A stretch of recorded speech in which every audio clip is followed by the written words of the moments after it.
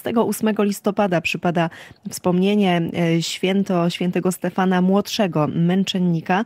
Mamy także powiedzenie, mądrość ludową na dziś, kiedyś dzisiek rano szroni, zima jest w zasięgu dłoni. No i można powiedzieć, że trochę e, prawdy, to ziarenko prawdy w tym powiedzeniu mm, się znajduje. No dzisiaj e, ta, ta pogoda, jak mogliśmy usłyszeć we wcześniejszym wejściu, przyniesie odwilż, zachmurzenie będzie duże, a dodatkowo możemy spodziewać się gdzie niegdzie opadów deszczu, a także e, deszczu e, ze śniegiem. I mamy jeszcze powiedzenie na dzisiejszy dzień. Za 20 lat będziesz bardziej rozczarowany rzeczami, których nie zrobiłeś, niż tymi, które zrobiłeś źle. Tak powiedział e, pisarz Mark Twain. No i ciekawe, czy mm, to powiedzenie przyświecało mi, kiedy pisał na przykład przygody Tomka Sawyera. Bardzo możliwe, że mm, tak było. Jeszcze mamy dziś jedno święto zapisane w kalendarzu świąt nietypowych, a jest to Dzień Pocałunku. Więc jeśli macie taką sposobność, to warto dzisiaj e, odpowiednio ten dzień celebrować, a jeśli nie, to można na przykład uśmiechnąć się e, do drugiego człowieka. No i koniecznie bądźcie Państwo dziś e, razem z nami. A my w dzisiejszym poranku wnet bardzo dużo informacji ze świata będziemy przekazywać. Za kilka chwil połączymy się z Ukrainą. Tutaj Dmytro Antoniuk. Później step by step to Justyna Rudnicka i Kazachstan. Tam też bardzo duże protesty. Ryszard Zalski, Tajpej, ale tutaj akurat protesty w Chinach, Studio Londyn i za Smolarek Aleks Sławiński. Pojawi się w pierwszej godzinie także Bogdan Żońca, eurodeputowany Prawa i Sprawiedliwości. O godzinie 8.10 porozmawiamy z byłym ministrem e, rolnictwa Janem Krzysztofem Ardanowskim. Co to znaczy zboże techniczne sprowadzane z Ukrainy? Dlaczego to zboże zamienia się w zboże paszowe, w zboże konsumpcyjne i w jaki sposób wpływa ono na krajowy rynek zbóż i rzepaku? To tutaj już możemy zdradzić Państwu, że e, wpływa niestety niekorzystnie i, i to jest duży problem e, dla polskich rolników. Później przyjrzymy się Indiom. Tutaj pojawi się dr Krzysztof Iwanek, indolog, kierownik Ośrodka Badań Azji w Centrum Badań badań nad bezpieczeństwem. Mm, według Organizacji Narodów Zjednoczonych w 2023 roku Chiny przestaną być najbardziej zaludnionym krajem świata, a na pozycję lidera właśnie w tej kategorii wskoczą Indie. A jak to jest, jeżeli chodzi o gospodarkę, czy y, jej blask też ma szansę w kilka dekad przyćmić Chiny? O to zapytamy doktora Krzysztofa e, Iwanka. Później pojawi się na antenie Radia Wnet jeszcze profesor Romuald Szeremietiew i tutaj jeszcze spojrzenie w kierunku Ukrainy. 7.14 za moment rozpoczynamy poranek wnet, ale rozpocznijmy go z dobrą energią. Zespół Abba One of Us, my wracamy za kilka chwil.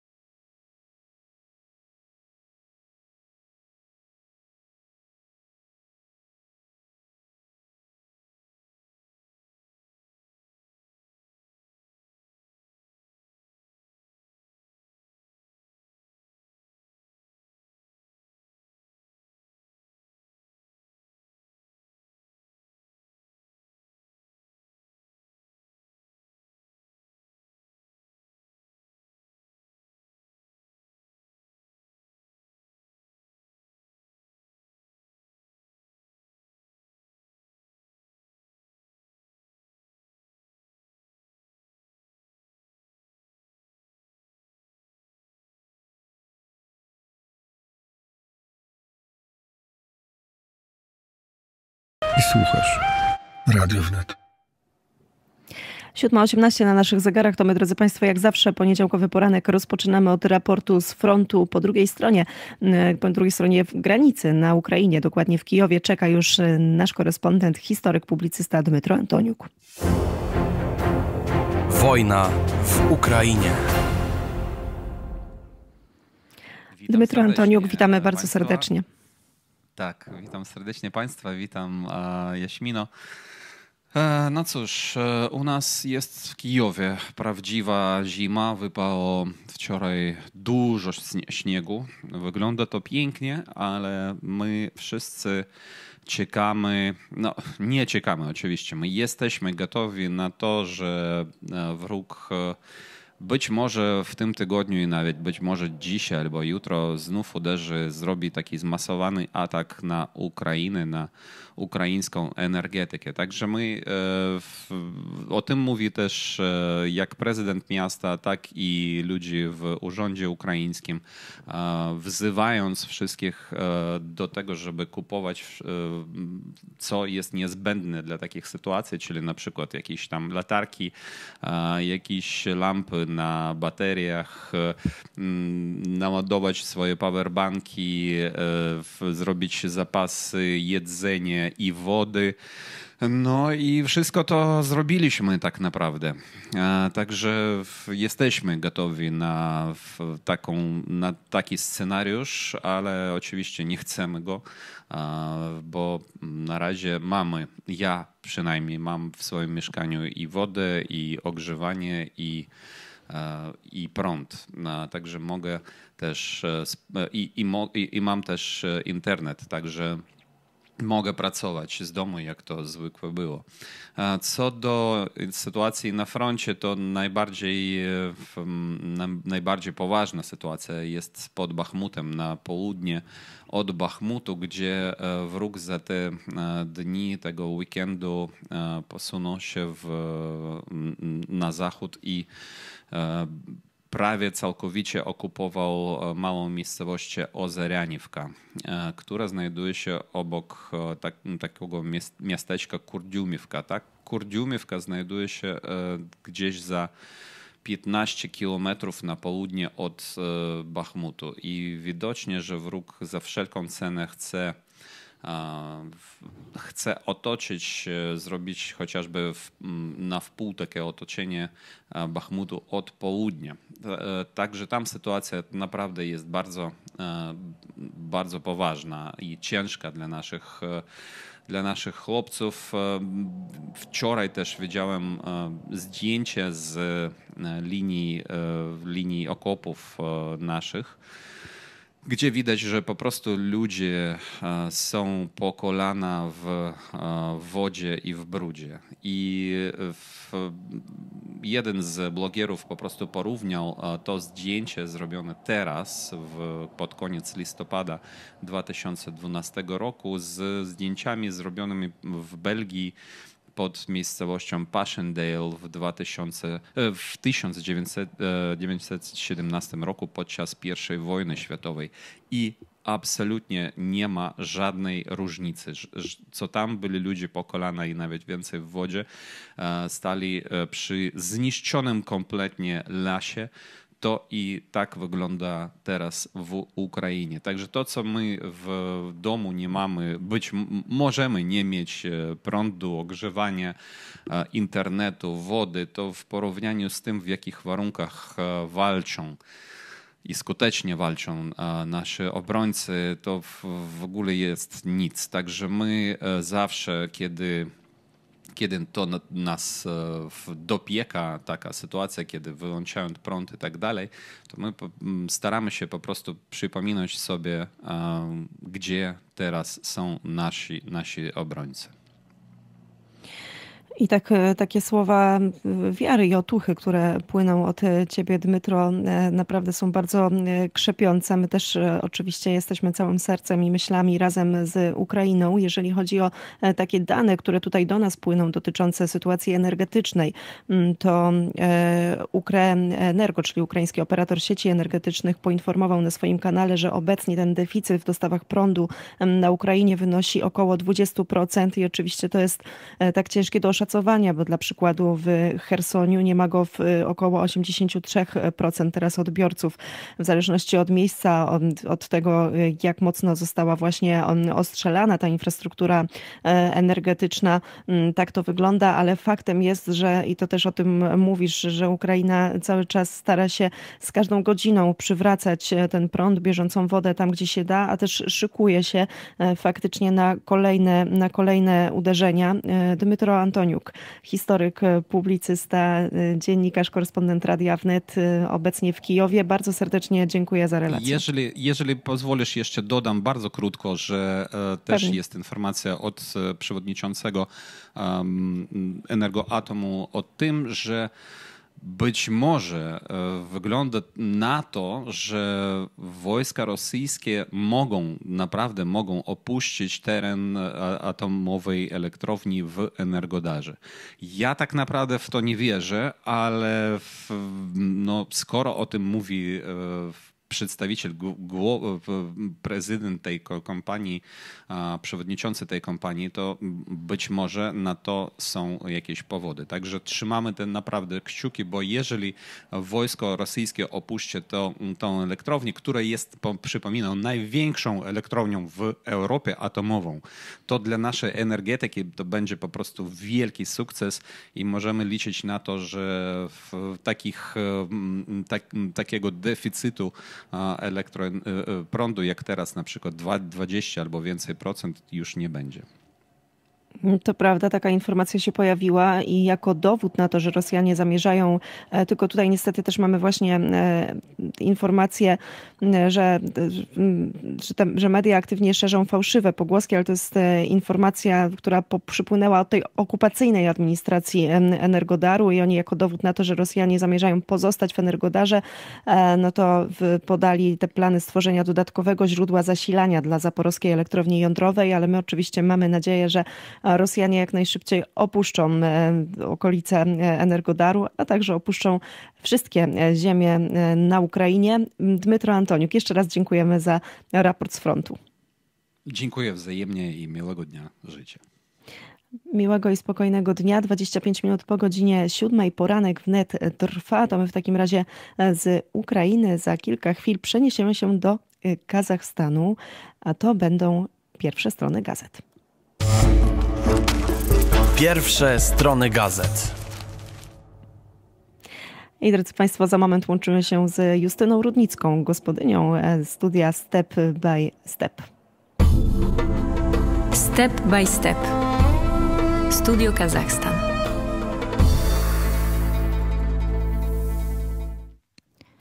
Justyna Rudnicka.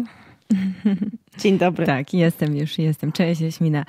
E, tak, no Studio Kazachstan w, w piątek o, o 9.10. Dzisiaj tutaj pierwsze strony gazet, chociaż powiem Ci Jaśmino, że e, no, jeśli chodzi o pierwsze strony gazet i połączenie tego z, z tymi protestami, które odbyły się tutaj w sobotę, e, no to za wiele tych połączeń nie ma, ponieważ po prostu dzisiaj już się o tym właściwie nie pisze, nie mówi. To są te informacje jeszcze tam z soboty, też jeszcze w niedzielę gdzieś tam się pojawiały, ponieważ szybciutko y, y, wyjaśnię tutaj w sobotę w, w Astanie czyli w stolicy Kazachstanu, odbyła się inauguracja kolejnej kadencji prezydenta Kasyma Żumarta Tokajewa, który uzyskał y, ponad 80% poparcia według tych, tych oficjalnych danych i po tych uroczystościach właśnie mm, pojawiły się mm, protesty, to znaczy ludzie, w większości młodzi ludzie wyszli na, mm, na ulicę i, i protestowali przeciwko temu wyborowi. I tutaj, no, ponieważ ponieważ wiadomo, no media tutaj są jednak powiązane, prawda, z, z rządem, to mm, tych informacji było niewiele.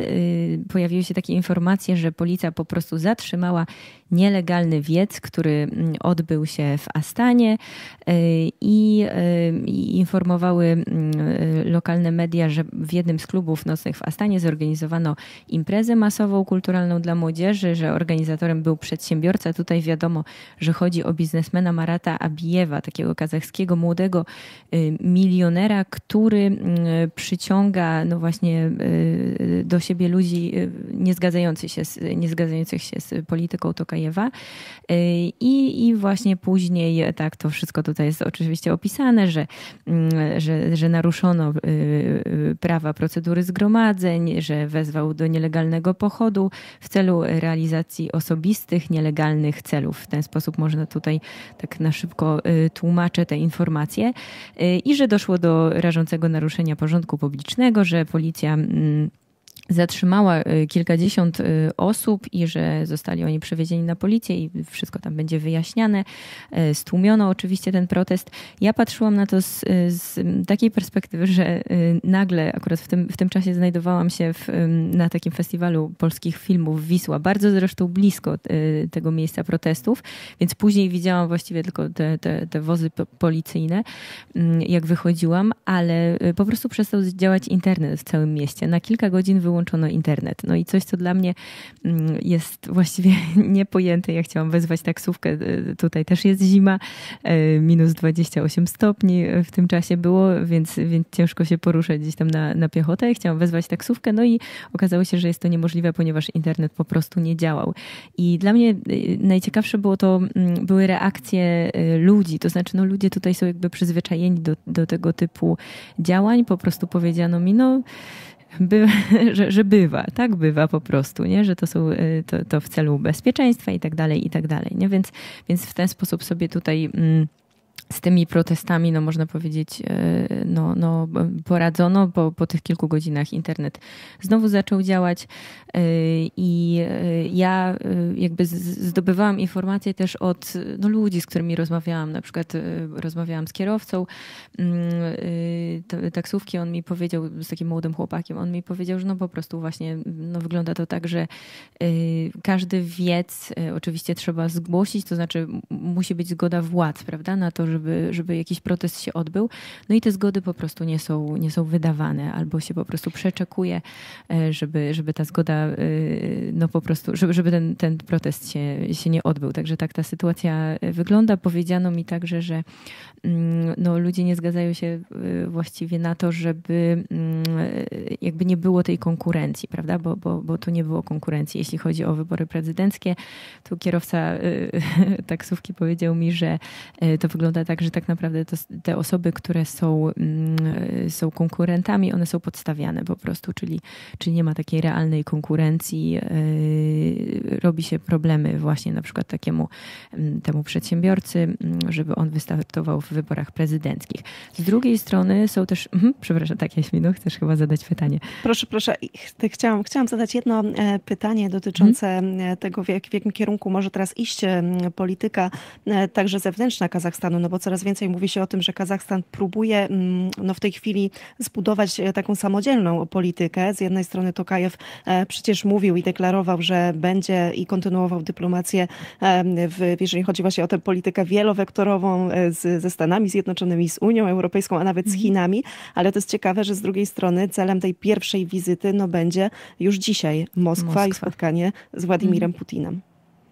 Tak, tak. I to, to jest kolejna informacja właśnie z tych, y, z tych pierwszych stron gazet, że dzisiaj y, Kasem Żomar Tokajew na zaproszenie, tutaj w ten sposób jest to y, napisane, prezydenta Rosji Władimira Putina już tam przybył do Federacji Rosyjskiej. Będzie to oficjalna wizyta, pierwsza wizyta po, po wyborach.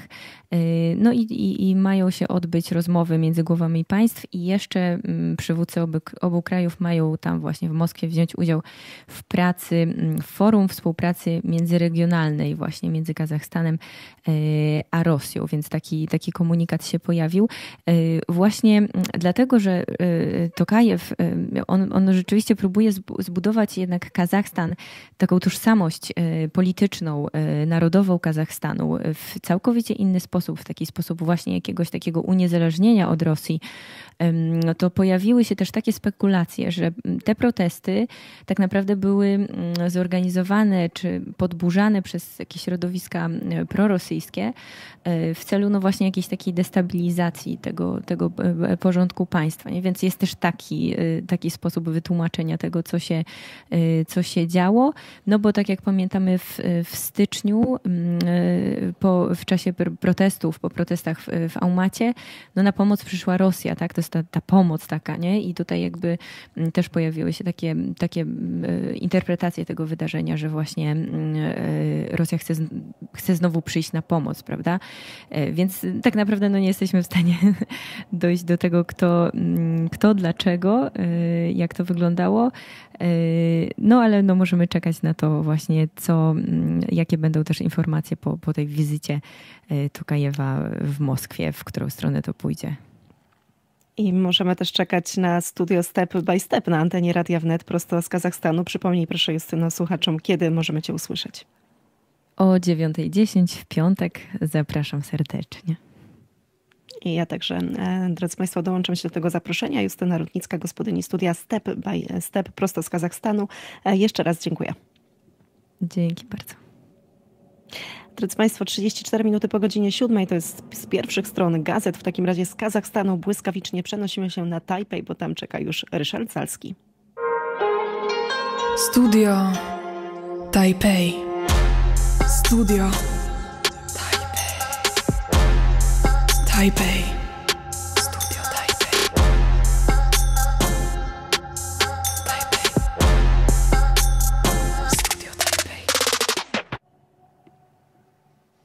Dzień dobry. Dzisiaj chciałem powiedzieć kilka słów. Dwa tematy. Pierwszy jest z Tajwanu, to znaczy mieliśmy tutaj wybory na Tajwanie i kilka takich e, komentarzy to jest to, że porażka tej partii obecnie władzy, czyli DPP, tej protajwańskiej i zaskakująca dobro forma Kuomintangu, który był często spisywany na straty m.in. przeze mnie. Błąd DPP polegał na tym, że w ostatnim momencie dołączyli do tematu wyborczych kwestię Chin i to w pewnym sensie wyłożyło. Poza tym została ta partia ukarana, ta, z której właśnie wywodzi się obecna prezydent Tsai, za nieudolne rządy, za brak decyzyjności. Kolejna rzecz, i to jest naprawdę to, co chciałem podkreślić, że tajwańska demokracja ba się bardzo dobrze i potwierdziła swoją siłą. Jednym z najciekawszych rzeczy tutaj, która naprawdę mało jest na świecie podkreślana, to jest sposób liczenia głosów, który jest bardzo publiczny. Nie ma żadnych maszyn jak w Stanach Zjednoczonych, nie ma żadnych jakichś utajnionych, e, różnych zakulisowych rozgrywek. Po prostu jest e, to pudło, w którym są głosy, są, jest publicznie otwierane. E, jest wszystko publicznie naraz przez kilkanaście osób oglądane, każdy głos, wszystko jest filmowane i każdy obywatel może przyjść z ulicy i zobaczyć, jak są liczone. Jest tak skrajnie transparentny system, i świetnie działa. I nie trzeba ani żadnych maszyn, ani nic innego. E, jeszcze dwie uwagi. Praktycznie te wybory były bez żadnej treści. Wygrali tak naprawdę najprzystojniejsi kandydaci, najładniejsi. Próba obniżenia wieku wyborczego z 18 do 20 lat nie udała się. Druga kwestia to teraz najgorętszy temat chyba, kwestia protestów w Chinach. I tego chcę powiedzieć jest kilka powodów, między innymi właśnie pierwsza rzecz, że to nie jest jeden powód, tylko jest ich kilka. Dwa, że one są nadal rozdrobnione i są niewielkie tak naprawdę ilości uczestników. Trzecia rzecz to porównania z wydarzeniami na placu Tiananmen są nietrafione. Czwarta, że nie, przece nie przeceniałbym ich znaczenia. Raczej to, to nie, nie mają jakiegoś wielkiego znaczenia w Chinach. No i kolejna ciekawostka, tutaj właśnie już do studia Londyn się odnoszę, że także są protesty przed chińską ambasadą w Londynie. I tutaj chciałem się spytać właśnie, czy coś na ten temat wiadomo, czy mają tam może ze studia Londyn jakiś komentarz nasi redaktorzy. Halo, halo, dzień dobry, tutaj Studio Londyn. Witamy Jaśminko, witamy e, Ryszardzie. Ja tutaj weszłam trochę w oddech Jaśminy, ale e, szybciutko odpowiadam, ponieważ tutaj z brytyjskiej perspektywy strajki, które odbywają się w tej chwili w Chinach, naprawdę są ogromne i tak to tutaj się widzi właśnie w Zjednoczonym Królestwie. I tutaj e, czytam właściwie na wszystkich nagłówkach dzisiejszej prasy Chiny królują i właśnie te protesty królują. I czytam tutaj Chiny stoją w obliczu największych antyrządowych protestów od czasu masakry na placu Tiananmen.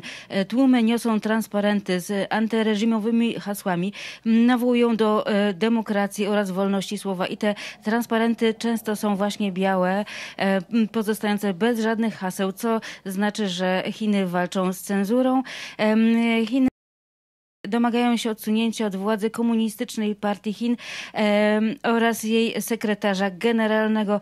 To tyle nagłówki od Guardiana, poprzez Daily Mail, poprzez e, też BBC i Sky News. E, protesty przed ambasadą chińską jak najbardziej są przewidziane, ponieważ chińska diaspora tutaj w Londynie jest bardzo silna i e, bardzo duża. No tak, e, faktycznie. Przeglądam prasę. Financial Times, oczywiście Chiny. Metro, oczywiście Chiny. Daily Telegraph, oczywiście Chiny. The Times, o i tu się już temat troszeczkę zmienia. Poza tym, poza tym tutaj też podkreśla się, że muzułmańskie mniejszości w Chinach szczególnie narażone są na działania władzy. I tutaj pytanie do Ryszarda Zalskiego, czy faktycznie tak jest? Jak to jest z twojej perspektywy? No tak, to oczywiście są prześladowane i to bardzo. I dzisiaj więcej na ten temat będzie w Studio Taipei. Właśnie początkiem jakby te, tych całych tych protestów, które trwają gdzieś tak od tygodnia, właśnie był pożar. E, budynku mieszkalnego w Urumqi, właśnie w Xinjiangu. I to był jakby tym ostatnim takim e, elementem, który po kilku innych, które wcześniej miały miejsce, który właśnie doprowadził do tych protestów, że one stały się takie popularne. Przy czym jedna moja uwaga, właśnie mówiliście przed chwilą, że tam tłumy, że idą po ulicach, właśnie to pojęcie tłumy jest bardzo relatywne. Bo tłumy tak naprawdę to może być 100 osób, a może być 10 tysięcy. I tak jak ja to widzę, tak jak sobie trochę czytałem i sprawdzałem, to raczej nie są to duże tłumy. I daleko im do dużych tłumów. Także e, myślę, że trochę ponosi e, e, zachodnie media i w moim odczuciu też ten zwrot, że największy od czasów masakry na placu Tiananmen, to już się wielokrotnie po, pojawiało w, w, czasie ostatnich kilkunastu lat i boję się, że to jest kolejny raz, kiedy jest trochę to na przesad, przesadnie używane to pojęcie. Ryszard okay, Zalski, gospod... już... Tak, tak. Dziękuję, dziękuję bardzo. Jeszcze ostatnie słowa. Ostatnie słowo z Londynu. E, już nie mamy ostatniego słowa, bo czasu nam zabrakło. E, więcej informacji z Londynu, bo tutaj naprawdę ogromnie się dzieje. Zapaść w służbie zdrowia. E, Matt Hancock, były minister służby zdrowia, został celebrytą i tak dalej, i tak dalej. Wszystko można przeczytać na portalu wnet.fm. Serdecznie zapraszamy.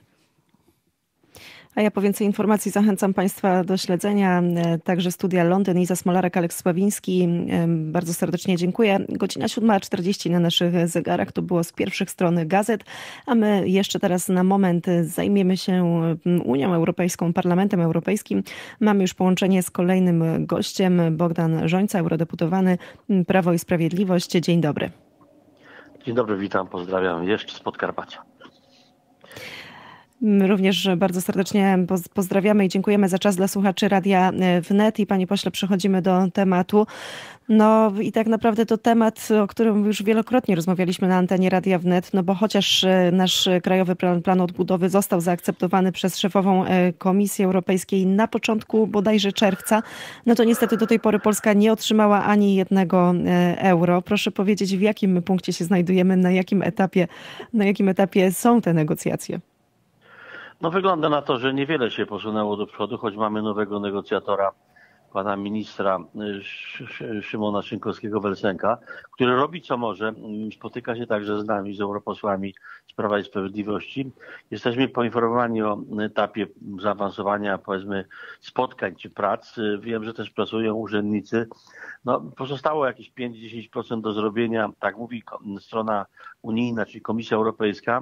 Ja pytałem tydzień temu, dokładnie w poniedziałek, komisarza Gentilonego i wiceprzewodniczącego Parlamentu Europejskiego Waldisa Dombrovskisa, czy, czy my musimy zrobić jeszcze jeden kamień milowy w Polsce, czyli zmienić rząd i i czy wtedy dostaniemy pieniądze? Odpowiedź była taka, no trochę, że nie, nie, no my szanujemy Polskę, my prawda, chcemy to wszystko, co robimy, to chcemy, żeby było jak najlepiej. W Polsce robimy to dla ludzi. A przecież wiemy dokładnie, jak jest. Te, to jest polityczne działanie przeciwko Polsce. Natomiast oczywiście jest też oczekiwanie, że ta opozycja polska no, będzie się tym żywić do, do wyborów chociażby, bo innego programu nie ma, prawda. Wielokrotnie zresztą politycy Platformy i Lewicy głosowali rezolucję, przygotowywali rezolucję i, i głosowali y, rezolucję przeciwko daniu Polsce pieniędzy, więc tej polskiej opozycji nie należy wierzyć i niech powiedzmy wyborcy w Polsce o tym wiedzą, że te pieniądze nie były dla PiSu i dla prawicy, tylko były po prostu dla służby zdrowia, na cyberbezpieczeństwo, na wzmocnienie gospodarki po covid -zie. No i też y, wiemy, że z kolei też wiemy, że nie należy zatrzaskiwać drzwi, y, używam tego terminu, dlatego że, że sytuacja jest dosyć, że tak powiem, y, zmienna. Widzimy coraz większy kryzys w Europie Zachodniej, tam coraz większą inflację i coraz większą presję środowisk gospodarczych, które mówią, no trzeba by pewnie dać te pieniądze na rynek, żeby odbyły się przetargi, żeby można było łagodzić skutki kryzysu gospodarczego.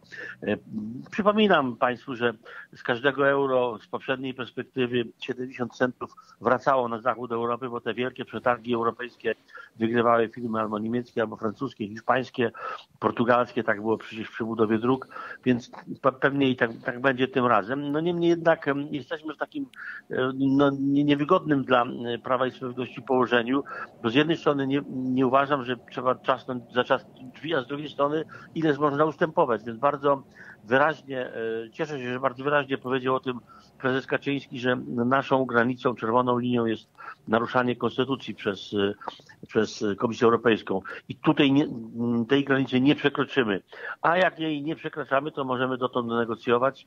Pytanie jest takie, czy rzeczywiście po drugiej stronie, po stronie Komisji Europejskiej jest ta dobra wola, czy tylko takie no, okłamywanie nas, że nie spełniamy jakichś kamieni milowych, bo oczywiście pretekstów zawsze może być bardzo wiele. Jestem y, powiedzmy takim bardzo, bardzo umiarkowanym optymistą, że to się dobrze zakończy. Y, jest nowy negocjator, pan minister robi, jak mówię, robi co może i dajmy mu szansę, poczekajmy na kolejne spotkania y, i zobaczymy, co się dalej zadzieje. Jesteśmy krzywdzeni, to musi być wyraźnie powiedziane. Jesteśmy jako kraj krzywdzeni, bo żyrowaliśmy pożyczkę, zachowaliśmy się bardzo elegancko, po covid -zie. Natomiast oczywiście te rezolucje zrobiły swoje.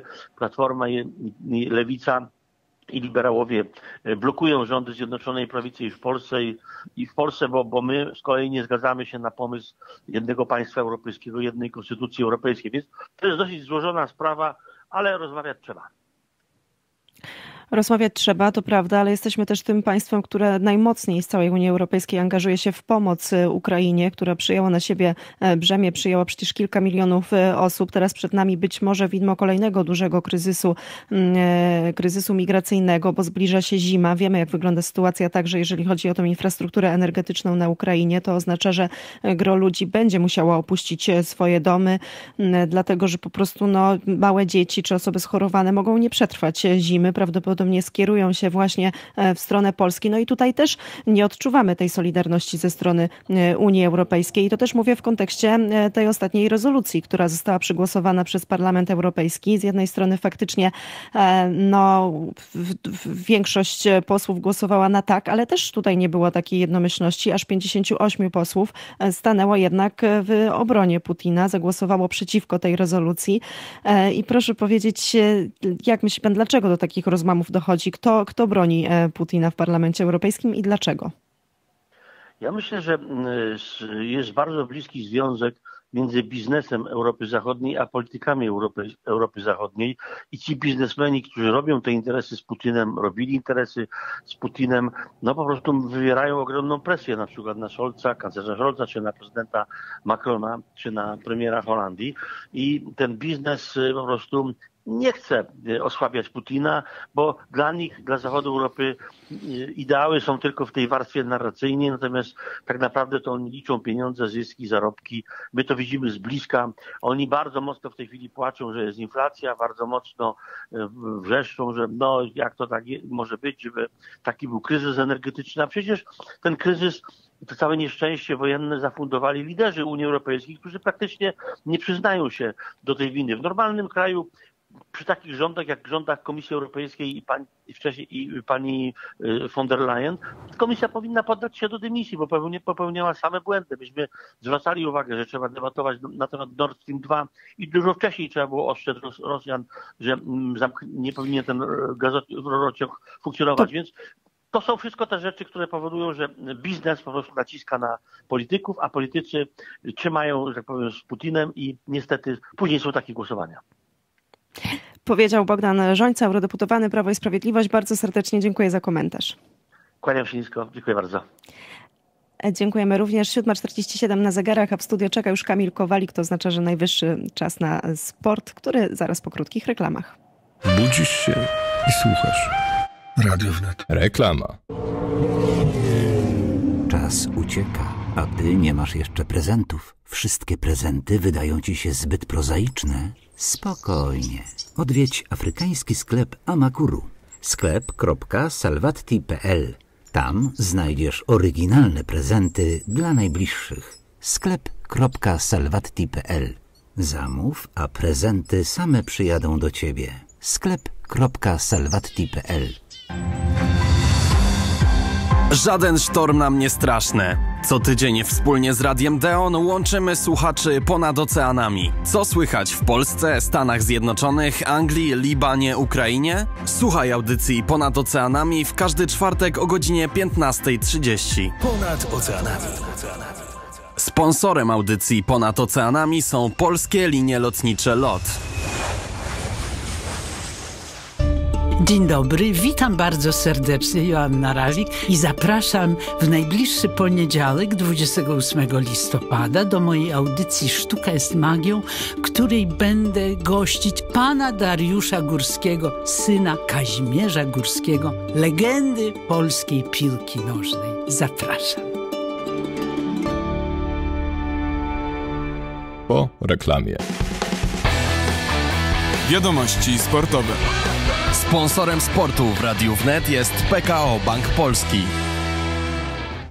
Kamil Kowalik, dzień dobry. Dzisiaj w Katarze kończy się druga kolejka fazy grupowej. Ta druga kolejka dla nas dużo bardziej radosna, szczęśliwa od pierwszej, bowiem wygraliśmy w sobotę z Arabią Saudyjską 2 do 0. Zmiana, jeśli chodzi o całą grę naszej reprezentacji, bardziej odważna, mniej zachowawcza, ale także zmiana, jeśli chodzi o oceny indywidualności polskiej reprezentacji, bo przecież Piotr Zieliński, na jego narzekaliśmy po meczu z Meksykiem, że było go za mało, było go widać za mało, za mało tego rozgrywania piłki Piotr Zieliński brał na siebie w tym pierwszym meczu, za to on w 39 minucie strzela pierwszą bramkę dla polskiej reprezentacji na mundialu w Katarze. Potem minuta 82 Robert Lewandowski, długo wyczekiwana pierwsza bramka naszego asa na Mistrzostwach Świata. Bohaterem ponownie Wojciech Szczęsny. Wojciech Szczęsny, który broni rzut karny. Wojciech Szczęsny, który broni dobitkę, choć jeżeli by bramka padła z tej dobitki, to nie zostałaby ona uznana, bo tam ten, który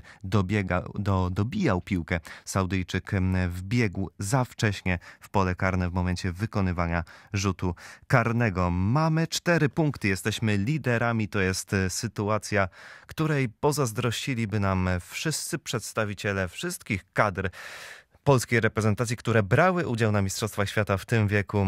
Ostatni raz przypominamy z grupy na Mistrzostwach Świata wyszliśmy w roku 86. Kupę czasu i tak e, cudowna sytuacja po tych dwóch e, po tych dwóch kolejkach, ale od razu pojawiają się spekulacje, z których wynika, że nasza sytuacja wcale nie jest aż tak kolorowa. Oczywiście mamy pierwsze miejsce w grupie, mamy cztery punkty. Na drugim miejscu Argentyna trzy, na trzecim miejscu Arabia Saudyjska z trzema punktami, tak samo jak Argentyna i czwarty Meksyk z jednym oczkiem. Wygrana oczywiście daje nam awans, daje nam awans z pierwszego miejsca. Remis e, także sprawia, że Polska awansuje do serii, do fazy pucharowej. Natomiast w przypadku porażki. W przypadku porażki będziemy oczywiście kalkulować, będziemy spoglądać na to, co będzie się działo na, podczas meczu Arabii Saudyjskiej z Meksykiem. E, tam w grę będzie wchodzić wówczas prawdopodobnie bilans bramek, bo jeżeli mamy ty, taką samą liczbę punktów, no to wtedy właśnie patrzymy się na bilans bramek. Na ten moment mamy my dwie bramki na plusie, Arabia Saudyjska jedną na minusie, Meksyk dwie na minusie, ale jeżeli przegramy z Argentyną, a Meksyk wygra z Arabią, no to wiadomo, że ten bilans bramek automatycznie już będzie mniej korzystny dla nas, także będzie tutaj sprawa tego, żeby tych bramek, jeżeli mielibyśmy przegrać z Argentyną, w co wierzymy, że się nie stanie, to byle, że byle żebyśmy przegrali jak najmniejszą liczbą bramek, a Meksyk wygrał z Arabią Saudyjską także jak najmniejszą liczbą e, bramek. W przypadku wówczas remisu Arabii Saudyjskiej z Meksykiem także jest te ryzyko, to ryzyko, że, że, że, że my możemy z grupy nie wyjść, jeżeli stracimy wiele bramek za Argentyną. No ale zostawmy te spekulacje. Cieszymy się ze zwycięstwa z Arabią Saudyjską. Cieszymy się, że jesteśmy w, grę, w grze i czekamy na środę, godzina 20 mecz z Argentyną, a formę naszej reprezentacji w meczu z Arabią Saudyjską skomentował dla Radia Wnet Mariusz Śródwa, więc świetny były napastnik ruchu Chorzów. Posłuchajmy. Wreszcie trochę to lepiej wyglądało, jeżeli chodzi o tą skuteczność, bo wygraliśmy 2-0. Zdobyliśmy dwie bramki, chociaż no, pewnie koneserzy też się gdzieś mogą dopatrywać w tym spotkaniu takich troszeczkę mm, może dziwnych jak ja nas e, sytuacji, a mianowicie tego, że przez znaczną część spotkania Arabia Saudyjska prowadziła grę, gdzieś tam dominowała, starała się zdobyć bramkę i i chyba jako Polacy nie jesteśmy do tego przyzwyczajeni. Podobnie graliśmy z Meksykiem i tam był remis. Się okazuje teraz, że ten remis był bardzo cenny, że ten jeden punkt y, naprawdę, mamy teraz cztery. Mm, może to jest taki trochę styl na wyczekanie, tak na przyjęcie rywala. E, jak, jak ty to widzisz y, z pozycji byłego, znakomitego piłkarza? Ja myślę, że tak. Po pierwsze, chyba poziom piłki nożnej wszędzie się wyrównuje i pora gdzieś nam się przyzwyczaić do tego, że nie nie jesteśmy tym zespołem, który będzie bardzo prosto łatwo wygrywał z niektórymi innymi państwami, które gdzieś do niedawna nam się wydawały bardzo egzotyczne. Jak widzimy po tych mistrzostwach, e, teoretycznie silniejsze reprezentacje od nas mają w niektórych spotkaniach bardzo duże problemy. Natomiast trudno się również z Tobą nie zgodzić, że mamy taki styl, który gdzieś został wypracowany. E, styl odpowiada temu, co w tej chwili prezentujemy, jak jesteśmy poukładani na boisku. No i co najważniejsze, co, co ten styl przyniósł nam no, rzeczywiście cztery punkty do tej pory i, i ta sytuacja w tabeli wygląda naprawdę bardzo przyzwoicie. Ja myślę, że wszystko, co wcześniej powiedziałem, gdzieś zostanie zapomniane i nikt nie będzie z tego robił jakieś e, dramatycznej e, sytuacji, jeżeli wyjdziemy z grupy, jeżeli ten styl, który preferujemy, do którego gdzieś tam nas selekcjoner przygotował i, i wymyślił, jeżeli ten styl przyniesie to, na co wszyscy czekamy, czyli awans i wykonanie tego planu, z którym jechaliśmy na Mistrzostwa Świata. Piłka nożna e, ewoluuje. Każdy gdzieś tam etap, który rozpoczyna się, przynosi to do siebie, że mamy zupełnie inne ustawienia. Kiedyś e, te ustawienia były prostsze, teraz trenerzy bardziej szukają, wystawiają e, czasami trzech obrońców, czasami czterech, pięciu, więc jakby jest więcej takiej kreatywności w tym wszystkim.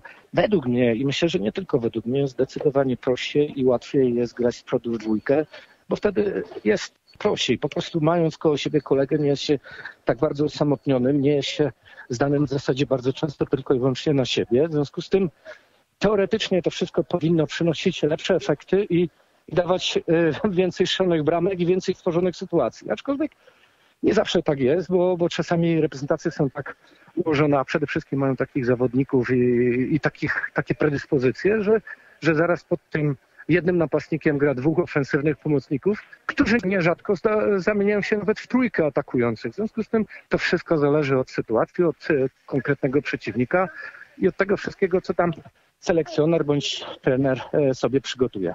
Powiedział Mariusz Śródwa, były napastnik ruchu Chorzów. Mecz z Argentyną o godzinie 20 w środę. To jest ta ostatnia kolejka naszej grupy, grupy C, której jesteśmy liderami. O tym będziemy przypominać i cieszyć się przynajmniej do środy. Mamy nadzieję, że wtedy po meczu z Argentyną sytuacja w grupie znacząco się nie zmieni i awansujemy do fazy pucharowej. Wczoraj swoje mecze rozgrywały grupy E i F. W grupie E Kostaryka wygrała 1-0 do, z Japonią i tym samym Kostaryka zostaje jeszcze w grze, ale ten drugi mecz ten hit. Hiszpania-Niemcy tam jeden do jednego.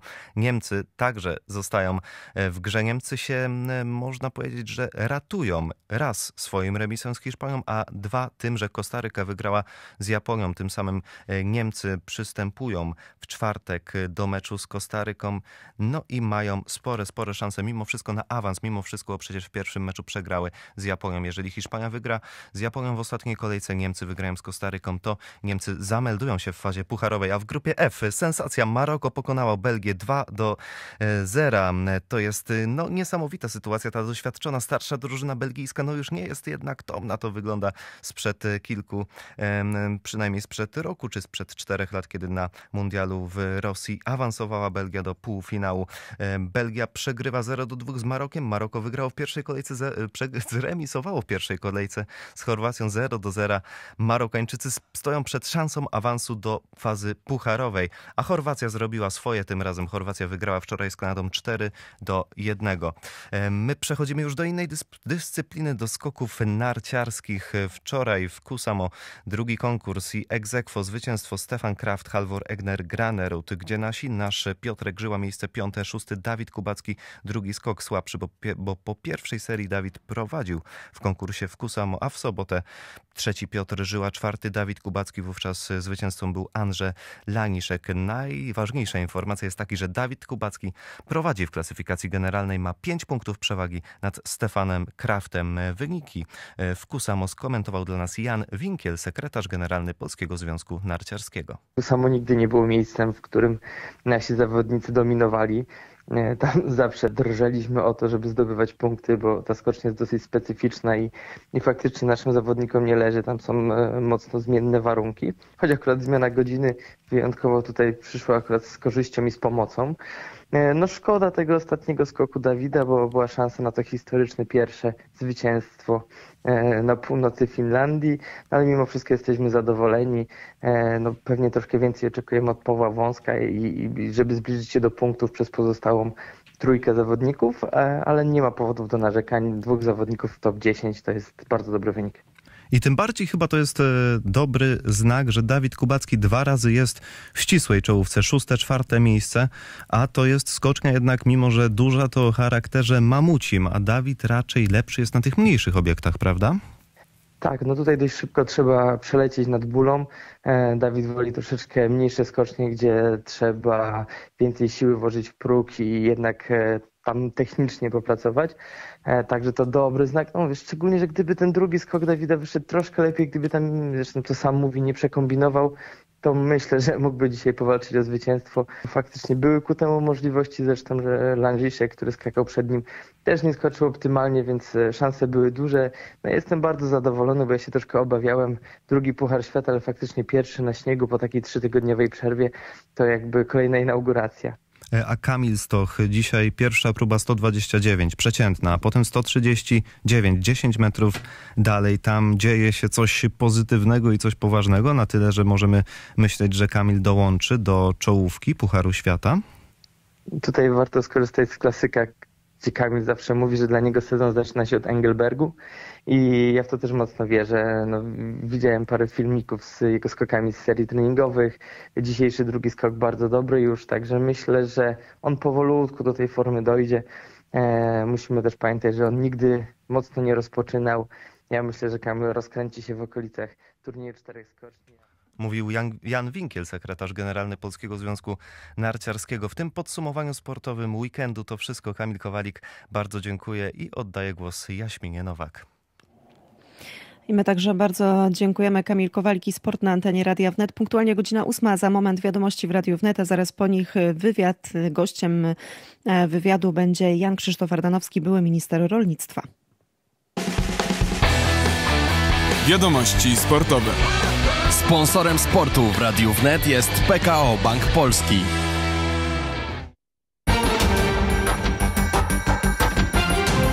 Wiadomości wnet. Dzień dobry, mamy godzinę ósmą, jest poniedziałek 28 listopada. Zapraszam na wiadomości Radia Wnet, Ignacy Bojaryn. Wiadomości wnet. Sztab Generalny Sił Zbrojnych Ukrainy informuje, że wojska rosyjskie nadal prowadzą ostrzał rakietowy i artyleryjski osiedli cywilnych po ukraińskiej stronie frontu. Jednocześnie propaganda Kremla próbuje zrzucić winę na ukraińskie siły zbrojne. Ponadto okupanci szerzą dezinformację twierdząc, że Ukraińcy z, że z Ukrainy z wyzwolonych terenów, Ukraińcy z wyzwolonych terenów są masowo zatrzymywani przez ukraińskie wojsko i oskarżeni o współpracę ze wrogiem. Rosyjska propaganda twierdzi, że celem zatrzymania jest wymiana na ukraińskich jeńców. Według informacji Sztabu Generalnego Sił Zbrojnych Ukrainy w najbliższych dniach można się spodziewać przerzucenia na ukraiński front niektórych rosyjskich jednostek z terenu Białorusi. Miałyby one uzupełnić straty ponoszone przez Rosjan. Ukraińskie pozycje oraz osiedla nadal są celem ostrzału rakietowego i artyleryjskiego ze strony wojsk rosyjskich. W kilku miejscach na wschodzie kraju Rosjanie próbowali przeprowadzić działania ofensywne.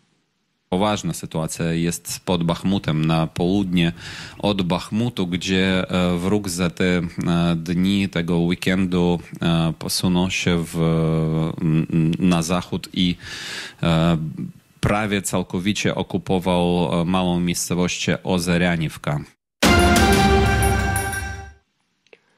Co najmniej kilkadziesiąt osób zatrzymano w sobotę w Astanie, stolicy Kazachstanu, podczas demonstracji, podaje Radio Swoboda. Rano tego dnia zaprzysiężono Kasyma Żomarta Tokajewa na prezydenta kraju. Portal pisze, że w mieście przez kilka godzin był niedostępny internet. E, minus 28 stopni w tym czasie było, więc, więc ciężko się poruszać gdzieś tam na, na piechotę. Chciałam wezwać taksówkę, no i okazało się, że jest to niemożliwe, ponieważ internet po prostu nie działał. I dla mnie e, najciekawsze było to, mm, były reakcje e, ludzi, to znaczy no ludzie tutaj są jakby przyzwyczajeni do, do tego typu działań, po prostu powiedziano mi, no że, że bywa, tak bywa po prostu relacjonowała korespondentka Radia Wnet w Kazachstanie Justyna Rudnicka. Lokalne media podają, że zatrzymani to zwolennicy biznesmena Marata Bijewa, najmłodszego milionera Kazachstanu. Serwis zaznacza, że miejscowe media nie wskazują na związek między demonstracją a złożeniem tego dnia przysięgi prezydenckiej przez Tokajewa. W Kazachstanie na przeprowadzenie demonstracji muszą wyrazić zgodę władze. Prawie tysiąc osób e, odwiedziło wczoraj Pałac Prezydencki w Warszawie. Gościom pałacu udostępniono do zwiedzania historyczne wnętrza, m.in. salę kolumnową, salę Orderu Orła Białego, salę imienia Lecha Kaczyńskiego, salę obrazową i salę chorągwianą. Zaprezentowano również nowy wystrój sieni wielkiej, eksponujący wizerunki Orła Białego w dziejach Rzeczpospolitej. Zwiedzający mogli także obejrzeć wystawę Romantyczność, malarstwo polskie XIX wieku, przygotowaną z okazji Roku Romantyzmu Polskiego we współpracy z Muzeum Narodowym w Warszawie. Na ekspozycję składają się m.in. prace Józefa Branta, Jana Matejki, Artura Grodgera, Wojciecha Gersona, Józefa Simlera, Januarego Suchodolskiego, Henryki Beyer czy Marcina Zaleskiego. Pałac Prezydencki można było wczoraj zwiedzać od godziny 11 do 16. Dziękuję i zapraszam na prognozę pogody. Prognoza pogody. Dziś Polska pozostanie na peryferiach rozległego wyżu rosyjskiego. W dzień spodziewajmy się dużego zachmurzenia i krótkotrwałych przejaśnień. Słabe opady deszczu, deszczu ze śniegiem oraz śniegu spodziewane są głównie w województwach północno-wschodnich. Poza tym padać nie powinno. Temperatura powietrza niewiele się zmieni. Słupek rtęci wskaże od około zera w okolicach Suwałk, przez blisko 3 w centrum kraju do 6 na Dolnym Śląsku. Na razie nic nie wskazuje na to, aby do Polski miał nadejść tęgi mróz. Również na ogarniętej wojną Ukrainie, jak na tę porę roku, będzie stosunkowo ciepło. Tu jedynie na północnych krańcach w nocy słupek rtęci okresami będzie spadał do minus 10 stopni.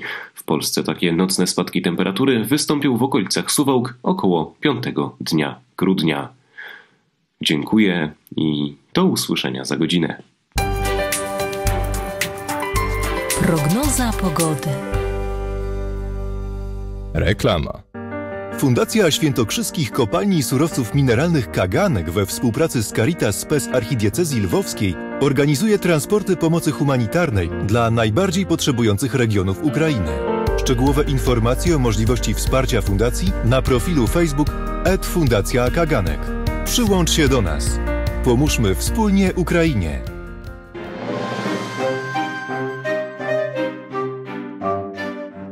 Studio Wilno w każdy czwartek o godzinie 9.10.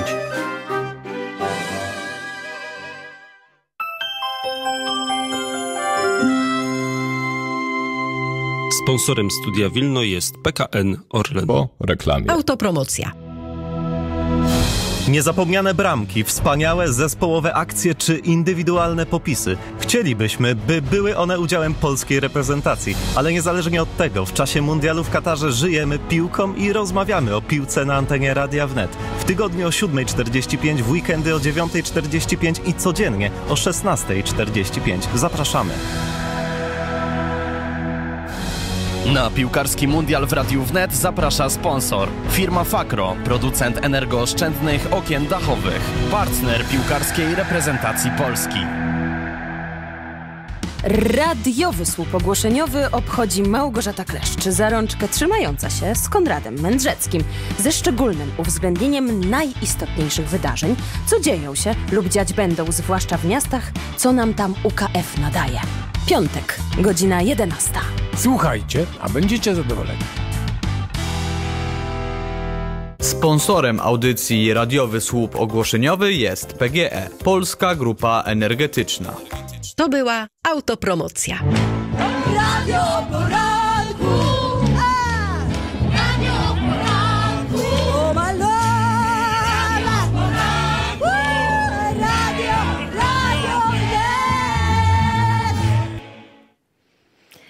Godzina 8.07 na naszym zegarze. Poranek wnet trwa. Za kilka chwil połączymy się z byłym ministrem rolnictwa Janem Krzysztofem Mardanowskim, a później pojawi się na antenie Radia Wnet dr Krzysztof Iwanek i tutaj e, spojrzenie, kierunek Indie. Później profesor Romuald Szeremietiew. To oczywiście sytuacja na e, froncie, ale w nieco e, szerszym mm, spojrzeniu. To wszystko jeszcze w drugiej godzinie dzisiejszego poranka wnet, ale zanim to nastąpi, to mm, też nie zapominamy o dobrej muzyce, a skoro mowa o dobrej muzyce, to może taki duet Tina Turner, David Bowie, a my wracamy za kilka chwil.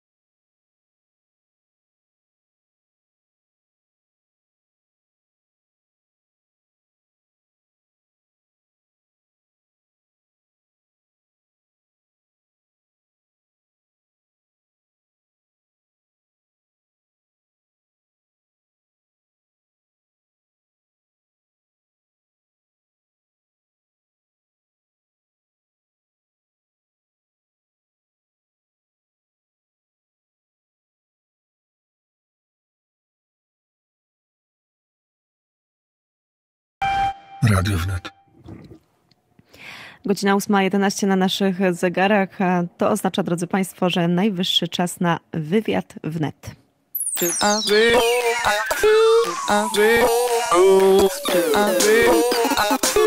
Wywiad wnet.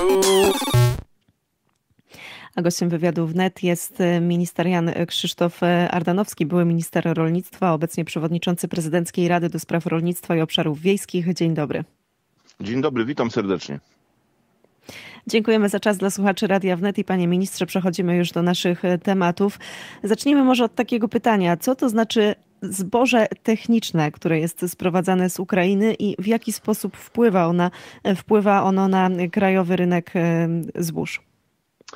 To jest jakaś nowomowa, bo jest to zboże paszowe, które jest przeznaczane na paszę, które rzeczywiście do Polski z Ukrainy wpłynęło i wpływa w ogromnych ilościach, bardzo mocno destabilizując rynek właśnie zbóż paszowych. Ja zwracałem uwagę na to wielokrotnie zresztą i na y, na falach Radia Wnet o tym też mówiłem. Tak jak zboże konsumpcyjne, czyli to, które przeznaczamy dla ludzi na, na mąkę, kaszę, płatki i tak dalej, ono ma i przyzwoitą cenę i jest na świecie poszukiwane. Tak, zboże paszowe o trochę innych parametrach, których w Polsce, które, zboże, którego w Polsce w strukturze zasiewów jest około 80 czy ponad 80%. To zboże musi być przerobione na paszę i muszą to zjeść e, zwierzęta. E, Właśnie tego zboża, głównie kukurydzy e, paszowej, spłynęło z Ukrainy do Polski kilka milionów ton. Na dobrą sprawę nawet trudno to oszacować, bo oprócz importu, który w dokumentach granicznych wykazywał firmę polską, która to sprowadza, zwracałem uwagę wielokrotnie, że nie byliśmy w stanie eksportować, reeksportować zboża ukraińskiego, nie mając odpowiedniej ku temu infrastruktury. I bardzo wiele zboża, które miało przepłynąć tylko przez Polskę w ramach tranzytu, pozostało w Polsce. Obkupiły się, jeżeli tak można powiedzieć, wielkie firmy paszowe, najczęściej z kapitałem zagranicznym, wielcy producenci mięsa drobiowego i wieprzowego, też to są koncerny, których właścicieli często gdzieś po świecie trzeba szukać, ale podobnie zachowują się koncerny polskie. Ci nakupili tego zboża, bardzo taniego zboża z Ukrainy, ogromne ilości i nie są zainteresowani kupnem zbóż paszowych od polskich rolników. Trwają w tej chwili, kończą się żniwa kukurydzy na paszę, tej, którą mucimy, bo przypomnę, że część przeznaczamy na kiszonkę, natomiast dwie trzecie, czyli około miliona dwustu tysięcy hektarów mucimy. Kukurydzy, która jeszcze musi być suszona, bo w naszym klimacie ona wymaga dodatkowych nakładów na suszenie. To jest proces bardzo kosztowny w tym roku. Trudno sobie wyobrazić, jakie są koszty gazu, oleju opałowego, węgla, czyli tych surowców, tych, tych którymi jest opalany suszarnia. Wielu rolników nie może sprzedać kukurydzy. Martwią się zresztą ci, którzy ją będą przechowywać, czy nawet, wiosną. nawet nie mucą, przepraszam, że wejdę panu ministrowi w zdanie, ale to jest dopiero e, też ciekawe i warto podkreślić, że nawet nie opłaca im się wjeżdżać e, w pole, bo właśnie albo nie mają gdzie tego wysuszyć, albo to jest po prostu za drogie, więc e, po prostu tak, nawet prawda. nie przystępują Część do, do tych żniw. Szczególnie, tam, gdzie plony byłyby nie za wysokie, a w części Polski była susza, no, zastanawia się, czy w ogóle to mucić, czy, czy tego po prostu nie zaorać. Jeszcze, jeszcze trzeba tam to, to, to pociąć, żeby, żeby zaorać, ponieważ może się okazać, że koszty poniesione na suszenie i przechowanie do przyszłego roku nie zostaną zwrócone na rynku ceną, która wtedy będzie, bo tak jak mówię, tego zboża tak zwanego technicznego cokolwiek to znaczy, sprowadzono z Ukrainy ogromne ilości. To jest jeden z, jeden z elementów, który no, budzi niepokój, bo często jesteśmy pytani, ja jestem pytany o bezpieczeństwo żywnościowe, mówiąc wprost, czy nam żywności nie zabraknie. Może to jest jedno z najczęstszych pytań obok tego, czy będziemy mieli ciepło. No tego węgla ze świata już tyle zostało ściągnięte, że prawdopodobnie będziemy mieli ciepło w zimę w mieszkaniach. Problem jak to sportów rozwieść. Natomiast to pytanie o bezpieczeństwo żywnościowe jest jak najbardziej zasadne. Na razie to polskie rolnictwo radzi sobie jakoś tam i żywności jest pod dostatkiem, ale symptomy na kolejne lata nie są dobre. Jeżeli nie będziemy chronili własnego rynku i w sposób taki nieumiejętny pomagali Ukrainie. Tym bardziej, że to zboże z Ukrainy wcale nie pomaga rolnikom ukraińskim, społeczeństwu ukraińskiemu, tylko nabija kabzę tak zwanym agroholdingom, których jest tam sto parędziesiąt, potężnych, mających dziesiątki, ba, setki tysięcy hektarów. Największy agroholding ma 630 tysięcy hektarów gruntów w uprawie i te agroholdingi są własnością i Rosjan, y, i Amerykanów, Holendrów, Chińczyków, Niemców, więc ja nie wiem, komu my tak na dobrą sprawę pomagamy, rozwalając własny rynek y, rolniczy. Ale problemów jest wiele. No, koszty energii przekładające się na nawozy, na, na, na, na ich cenę, na y, koszty transportu, tego suszenia, o którym mówiłem, również nie napawają optymizmem. Pojawia się następny problem, wpływający wprost na bezpieczeństwo żywnościowe. Y, Od wielu lat, od 2006 roku, jest w Polsce ustawa zabraniająca sprowadzania śruty sojowej modyfikowanej genetycznie dla pasz. Tylko, że ona od 2006 roku nie jest realizowana, bo kolejne rządy w Sejmie przeprowadzają moratorium na kolejne lata, kolejne, kolejne, kolejne i mamy 22 rok, a w dalszym ciągu ten zakaz nie obowiązuje. Y, Do końca roku trzeba podjąć kolejną decyzję. I tutaj lobbyści z tych wielkich zakładów paszowych, powiązani zresztą politycznie y, z różnymi partiami, y, nie chcą dopuścić do tego, żeby redukować zależność od soi sprowadzanej z Ameryki Południowej, a wydajemy na nią rocznie 6 miliardów 200 milionów złotych. Pieniędzy, które mogłyby pozostać w polskim rolnictwie, ponieważ znaczną część tej śruty sojowej modyfikowanej genetycznie moglibyśmy zastąpić surowcami, które polscy rolnicy uprawiają, roślinami bobowatymi, dawniej nazywanymi strączkowymi, śrutą rzepakową, ym, różnymi ym, produktami z przetwórstwa rolno-spożywczego, tak jak się to działo kiedyś. Teraz nie. Uzależniliśmy się od tej soi, której, której cena rośnie niepomiernie co roku. Y, Na dodatek może mogą te łańcuchy dostaw się zerwać, bo przecież wojna pokazała, jak płytkie jest zaopatrzenie, jak łatwo wstrzymać transport międzynarodowy i może się okazać, że w tym przypadku za chwilę nie będziemy mieli y, z czego y, robić pasz.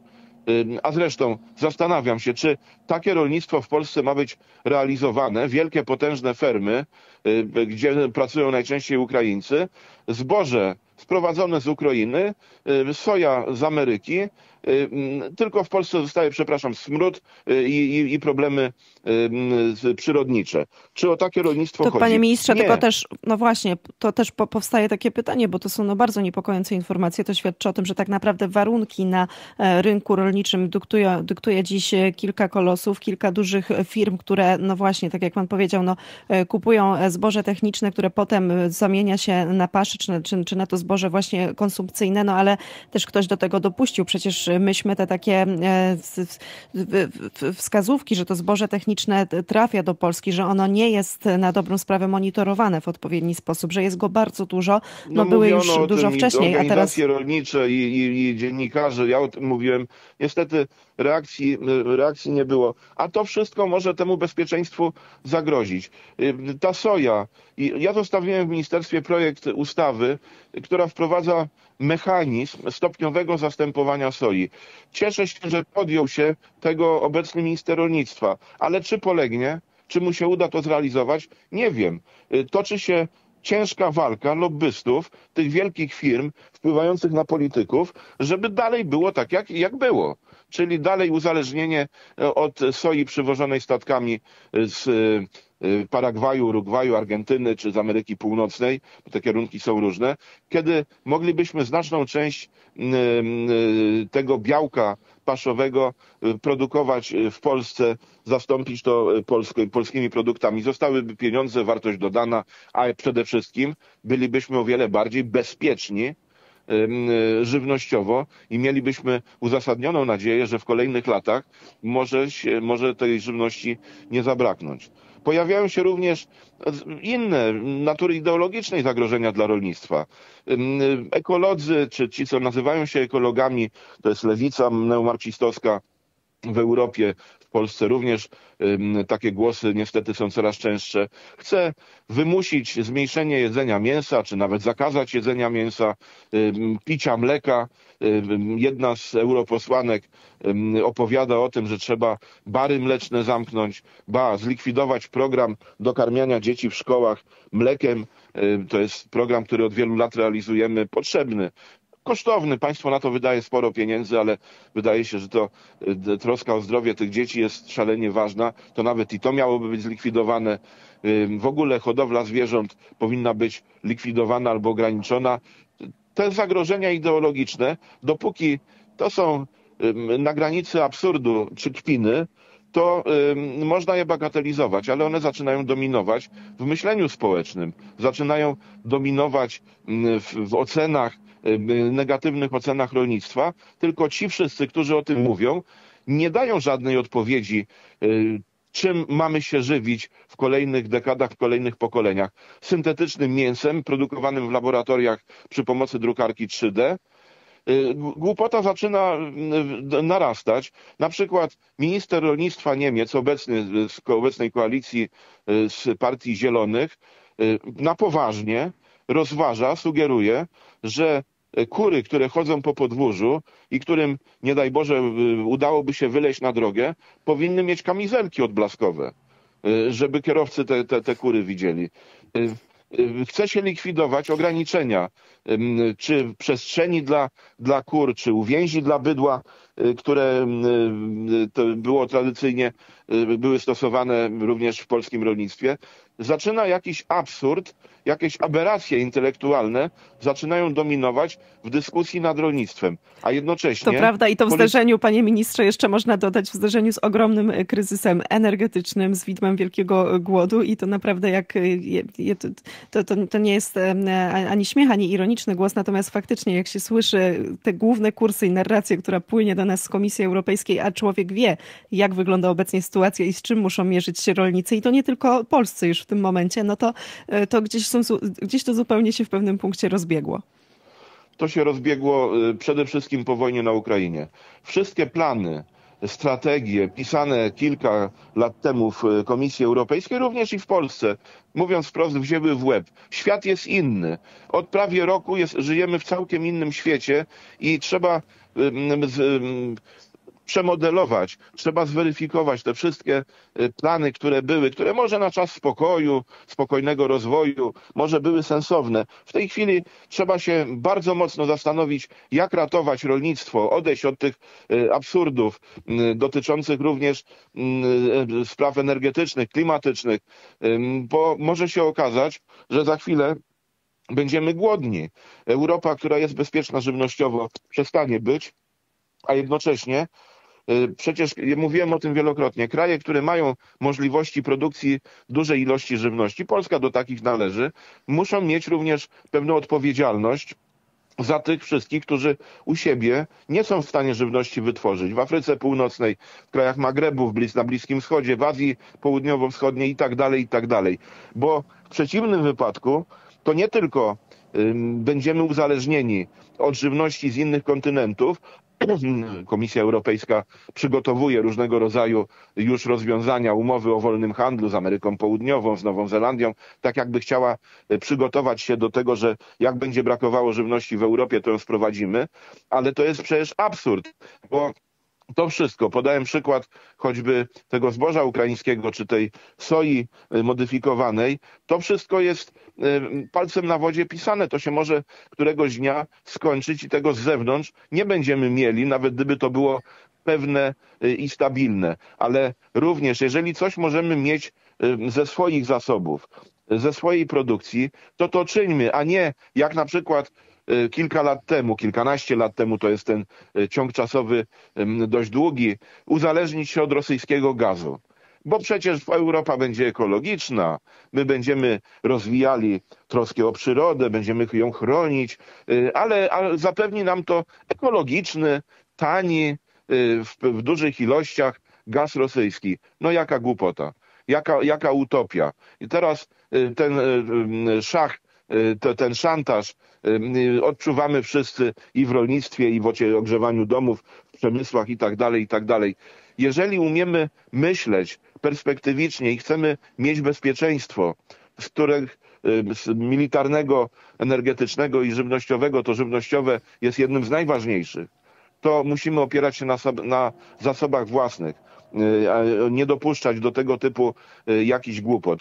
I to również wymaga zmiany na rynku, wzmocnienia pozycji rolników, ekonomicznej pozycji rolników, negocjacyjnej w łańcuchu żywnościowym, a nie jak wielu polityków jest przekonanych i myśli, no jak będą chłopy niezadowolone, jak będą spadały ich dochody, to się dotacje jakieś następne wymyśli, dołoży się im jakiś pieniędzy, kupi się w ten sposób jednocześnie przychylność elektoratu wiejskiego. Nie, nie tędy droga nie tędy droga. Przede wszystkim trzeba wzmacniać ekonomicznie rolnictwo i gospodarstwa, po to, żeby przetrwały różnego rodzaju kryzysy i zagrożenia i opierać się przede wszystkim na tym, co sami jesteśmy w stanie w Polsce wyprodukować. Wtedy będziemy silni ekonomicznie i możemy pomagać innym potrzebującym, czy gdzieś tam daleko w świecie, czy naszym braciom y, Ukraińcom. Jeżeli my rozwalimy własną gospodarkę, w tym własne rolnictwo i staniemy się również, przepraszam za ostrość wypowiedzi, dziadem ekonomicznym,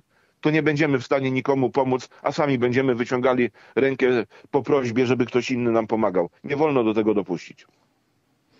I to są mocne słowa, ale chyba takich słów obecnie potrzebujemy. Panie ministrze, to na zakończenie jeszcze tylko jedno pytanie dotyczące energetyki, e, a mianowicie biogazownie, bo cały czas i tutaj pan też podkreślił, no my zresztą to widzimy, Europa faktycznie uzależniła się od tych rosyjskich e, surowców bardzo mocno, szczególnie Europa Zachodnia, no ale powoli w Polsce zaczyna myśleć się o, ta, ta, także myślimy o wykorzystywaniu tych nowych technologii. Tutaj chociażby e, w Przybrodzie, prawda, mamy pierwszą biogazownię, ona jak widać już sprawdza się dobrze. Czy pan uważa, że e, to może być e, od, jakaś odpowiedź na te wysokie Panie koszty energii, ja jestem, ogrzewania? Ja jestem mhm. wyjątkowym zwolennikiem właśnie biogazowni, z tego miksu energetyki odnawialnej. To jest najbardziej stabilne źródło energii, y, opierające się absolutnie na surowcach własnych, odpadowych zresztą, bo biogazownie rolnicze wykorzystują odchody zwierzęce, resztki pożniwne, różne odpadowe substancje z przemysłu rolno-spożywczego, jakieś wysłodki, wytłoki. E, to wszystko może być przerobione przede wszystkim na metan i do tej pory biogazownie najczęściej ten gaz wykorzystywały do produkcji energii elektrycznej. Tam są duże straty też przy okazji. Można to dalej czynić, ale również można y, za, zatrzymać etap na, na wytworzonym gazie, na metanie, który tam po doczyszczeniu może być stosowany normalnie w sieciach gazowych, czy napełniane butle, może być również wykorzystywany do mm, produkcji energii elektrycznej. To trzeba czynić, tylko na Boga. No, mówimy o tym od tylu lat, że ja już osiwiałem, broda mi osiwiała z tego, od tego czasu, a cały czas są jakieś opory, bo sieć energetyczna niedopasowana, bo ci operatorzy wielcy e, się denerwują, że muszą e, utrzymywać e, rezerwę mocy gdzieś tam w elektrowniach węglowych, co jest oczywistym utrudnieniem i buduje koszty. Ale to nie biogazownie. Te są stabilne. Można gaz przechowywać również w określonym czasie i wykorzystywać go wtedy, kiedy są tak zwane piki energetyczne, czyli gwałtownie wzrasta zapotrzebowanie, dobowe piki rano i po południu, ale również i piki roczne, kiedy są mrozy zimą albo e, wysokie temperatury i klimatyzacja e, latem. Natomiast absolutnie nie rozumiem jakiegoś idiotycznego uporu opozycji, e, która próbuje wymusić powrót do budowania wielkich wiatraków na obszarach wiejskich. Ja przypomnę, jakie ogromne emocje społeczne, jakie, jakie opory, ile komitetów protestacyjnych było wtedy, kiedy na siłę inwestorzy zewnętrzni, bo to nie Polacy na tym zarabiają. A może ten, co ten kawałek pola wydzierżawi, tam parę groszy dostanie.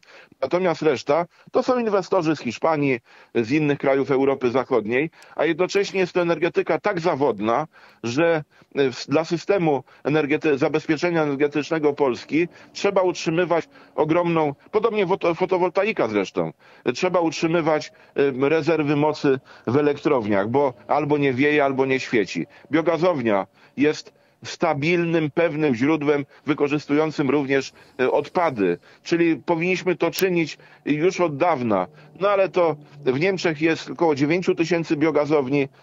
Szczęśliwie, oni mają trochę starą technologię. My byśmy mogli już od kilku lat budować według całkowicie lepszych, bardziej efektywnych technologii, ale w Niemczech około 9 tysięcy, a u nas tam nieco ponad 100. Y, To pokazuje, że du, du, potrafimy dużo mówić y, o różnych działaniach, a nie, nie do końca je robimy.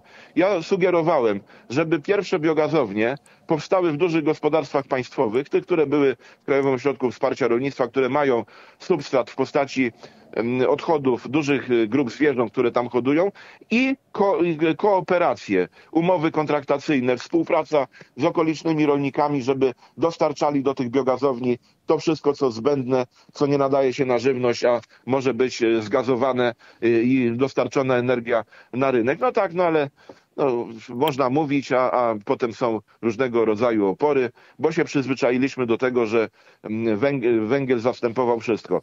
Y, Gdybyśmy inaczej podchodzili do energii odnawialnej, w szczególności tej bezpiecznej, tej stabilnej, czyli biogazowni i geotermii, uzupełniając oczywiście tam, gdzie nie ma y, napięć społecznych, gdzie nie ma konfliktów wiatrakiem czy farmami fotowoltaicznymi, to wtedy też to, ta zależność, ten y, wpływ szantażu ruskiego byłby dużo mniejszy. No ale to trzeba czynić, a I- nie i tylko są, mówić panie- i, i, i myśleć tylko o tym, że jak chłopi będą niezadowoleni, wyjdą na drogi, to damy im kolejne dotacje i będą siedzieć cicho.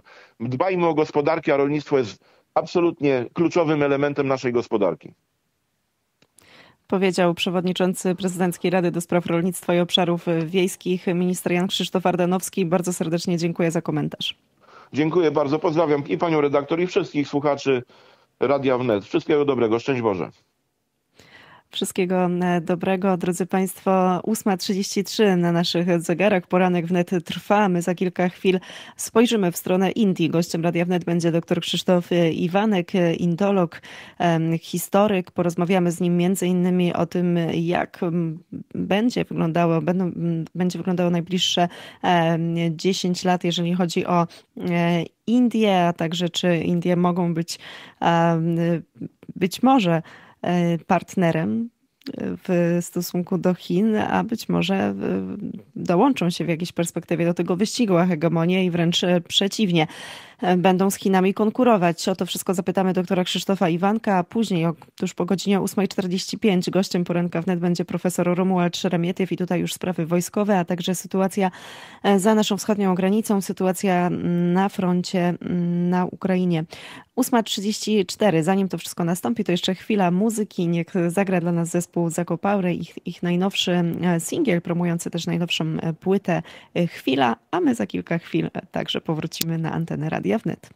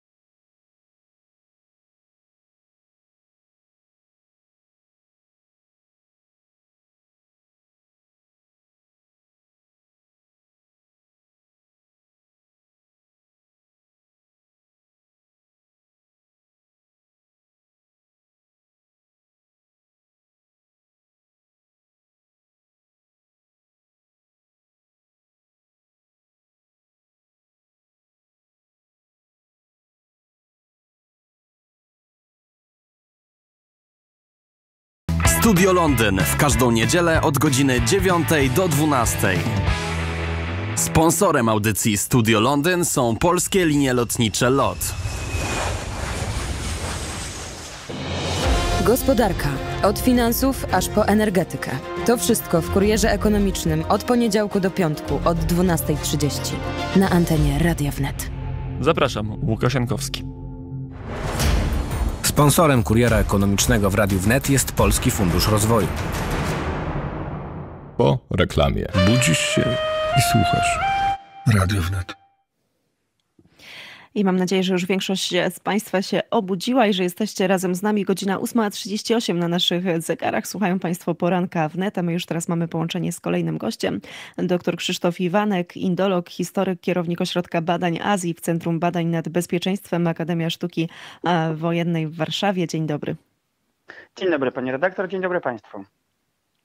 Bardzo serdecznie dziękujemy za przyjęcie zaproszenia. Ja zapowiadałam e, we wcześniejszym wejściu, że teraz spojrzymy e, trochę w kierunku Indii. No właśnie, i według tych e, ostatnich danych Organizacji Narodów Zjednoczonych w 2023 roku Chiny przestaną być najbardziej zaludnionym krajem świata, a na pozycję lidera w tej kategorii właśnie wysuwają się Indie. A jak to wy, wy, wypada, jeżeli chodzi o globalną gospodarkę? Czy Indie też mają szansę na przykład, no nie wiem, w perspektywie kilku dekad przyćmić Chiny? Po pierwsze dziękuję za zaproszenie pani redaktor. E, tak, więc najpierw odwołam się do tej demografii, a następnie do gospodarki.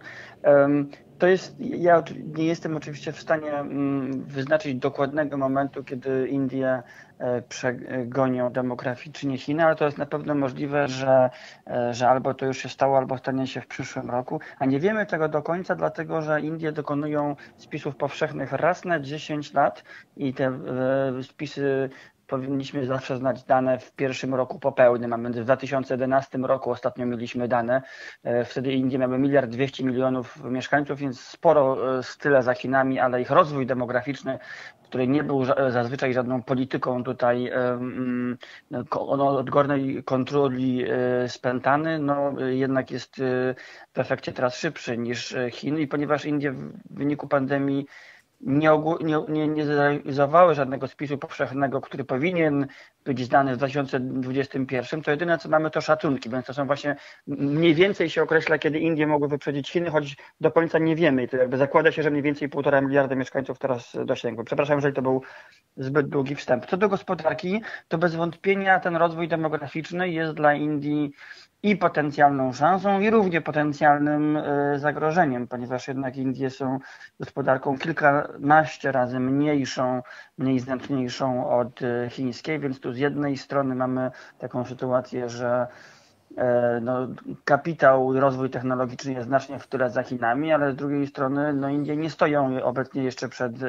zapaścią demograficzną, no i mają bardzo młode społeczeństwo, które e, jeżeli zapewni mu się miejsca pracy i zapewni się inwestycje, to myślę, że no rzeczywiście nie w przeciągu 5-10 lat, ale w przeciągu kilkudziesięciu lat e, będzie w stanie pchnąć gospodarkę e, Indii na, na znacznie wyższe poziomy, ale z drugiej strony, jeżeli to się nie uda, bezrobocie w Indiach i ubóstwo są nadal bardzo duże, to z kolei, tak jak dla Chin no, ta zapaść demograficzna jest problemem, to dla Indii e, nadmiar obywateli bez pracy i obywateli ubogi może okazać się ogromnym problemem i już teraz nim jest.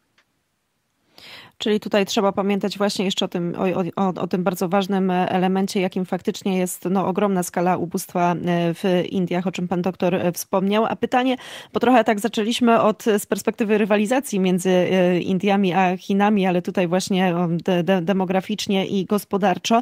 A jakbyśmy mogli spróbować określić te interesy Chin i Indii, zarówno na kontynencie, ale też i trochę szerzej? Czy one, mm, czy one są sprzeczne, czy być może mm, czeka nas nas jakiś większy sojusz? To znaczy, na pewno nie widać teraz żadnej szansy na sojusz indyjsko-chiński, odpowiadając od końca na pani redaktor pytanie. Czy mają wspólne interesy te państwa? Natomiast no mają. To znaczy, jest tak obecnie, że bardzo mocno e, Indie i Chiny dzieli spór graniczny, spór o terytoria w Himalajach. Dzieli je od końca lat 50., ale ostatnio sytuacja się zaostrzyła w wyniku napięć w 2020 roku. Natomiast nie jest tak też, że oni są zupełnie dla siebie bezwartościowe, te, te, te bezwartościowi, przepraszam, te dwa azjatyckie olbrzymy gospodarczo, no bo do niedawna Chiny były największym partnerem handlowym Indii z ogromnym E, tutaj mm, z ogromną dysproporcją e, na rzecz Chin, w tym sensie, że w, tym, w wymianie handlowej to przede wszystkim Indie importują od Chin dużo bardziej niż w drugą stronę, no ale jednak na, na różnych obszarach jest to z zyskiem dla obu stron. W tym roku ze względu na tę politykę zero COVID, która jakby ograniczyła działalność gospodarczą w Chinach, Chiny spadły na pozycję drugiego partnera handlowego e, Indii. Chiny tutaj na, na tej pozycji wyprzedziły Stany Zjednoczone. Tym niemniej nadal no, Chiny są bez wątpienia i pozostaną długo jednym z kluczowych handlowych partnerów e, e, Indii.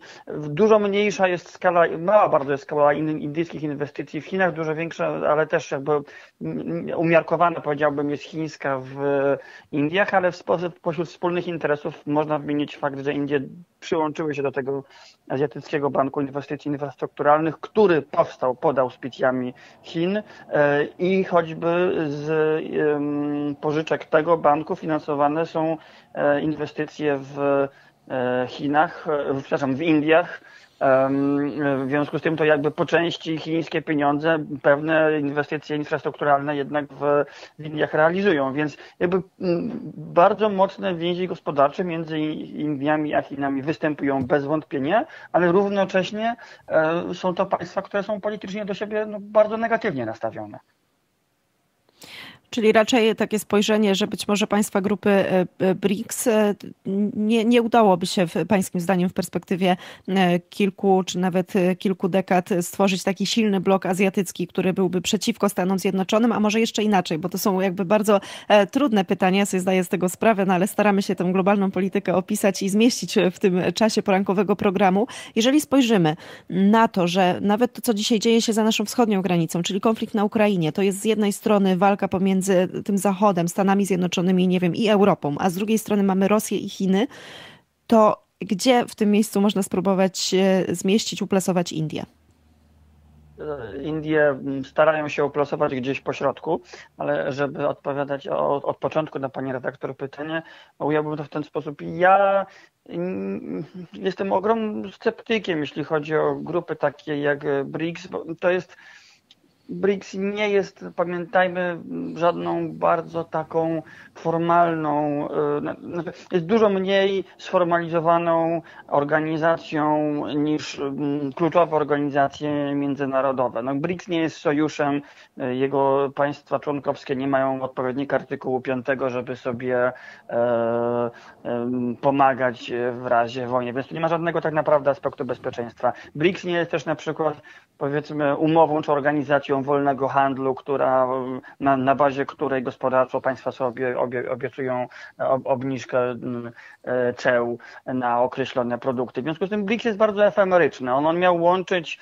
um, w rzeczywiście takim jakby po, poza zachodnim ujęciu największe państwa e, rozwijające się, ale to nie jest żadna grupa, która ma wspólne, wyraźne interesy polityczne i która instytucjonalnie zobowiązuje się, że będą razem te interesy e, organizować. Więc BRICS, no, kiedy, jak, jak słuchamy mediów, to kiedy słyszymy, że, że BRICS coś razem zrobił, coś razem osiągnął, to o NATO się słyszy, o Unii Europejskiej można to usłyszeć, ale nie o, o BRICS. Natomiast co do Indii ogólnie mm, Indie nie chcą być w żadnym sojuszu. Jak dotąd im to wychodzi. E, Indie chciałyby równolegle utrzymać partnerstwo ze Stanami Zjednoczonymi i z Rosją bez wchodzenia w sojusz z żadną z tych stron. Więc tutaj raczej one, jeżeli tylko to będzie dla nich możliwe, jeżeli nie będą na tyle słabe, przymuszone jakimś konfliktem, żeby się opowiedzieć po jednej stronie, to Indie się tutaj do żadnego bloku nie dołączą e, i nie będą częścią e, sojuszu żadnego, czy azjatyckiego, czy prowadzonego przez Amerykanów. Powiedział Radiu Wnet dr Krzysztof Iwanek, indolog, historyk, kierownik Ośrodka Badań Azji Centrum Badań nad Bezpieczeństwem Akademia Sztuki Wojennej. Bardzo serdecznie dziękuję za komentarz. Dziękuję za zaproszenie, panie redaktor. Drodzy Państwo, 47 minut po godzinie 8 poranek wnet trwa. Za kilka chwil skomentujemy sytuację na froncie. Na Ukrainie gościem Radia Wnet będzie profesor Romuald Szeremietiew, były wiceminister obrony narodowej, obecnie wykładowca akademicki, ekspert do spraw bezpieczeństwa. Ale zanim to nastąpi, to jeszcze e, chwila muzyki e, przed nami i niech to będzie utwór, który wybrała dla Państwa Dominika Borcz.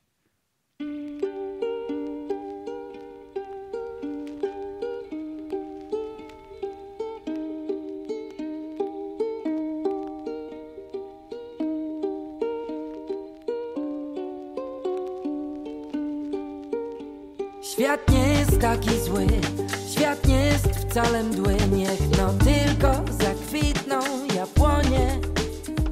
To i milion z nieba kapnie i dziewczyna kocha łatwiej. Jabłonie kwitnące jabłonie.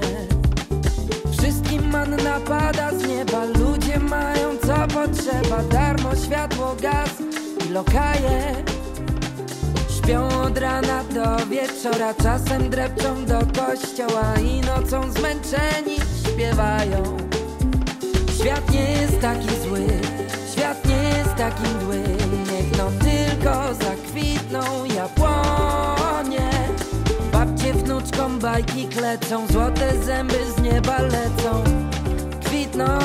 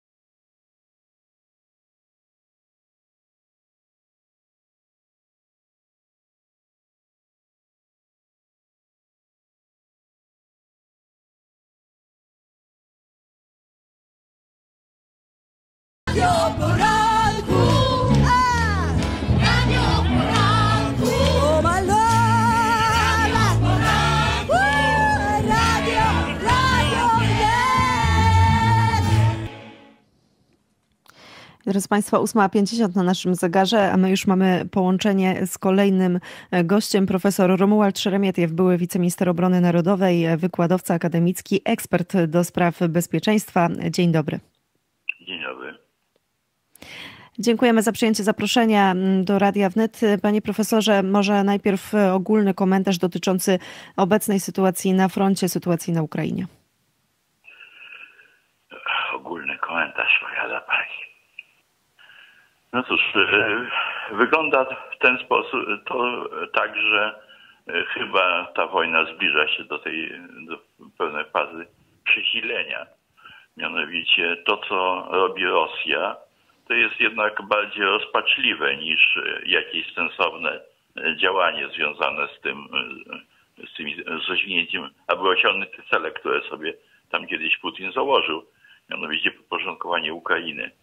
Bo e, niszczenie infrastruktury tak zwanej krytycznej, uderzanie w ludność e, cywilną Ukrainy, to przecież najlepsza droga do tego, aby Ukraińców definitywnie zrazić do Rosji i udowodnić teraz już każdemu z Ukraińców, że nie ma żadnej e, sympatii, przyjaźni i wspólnoty między Ukraińcami a Rosjanami.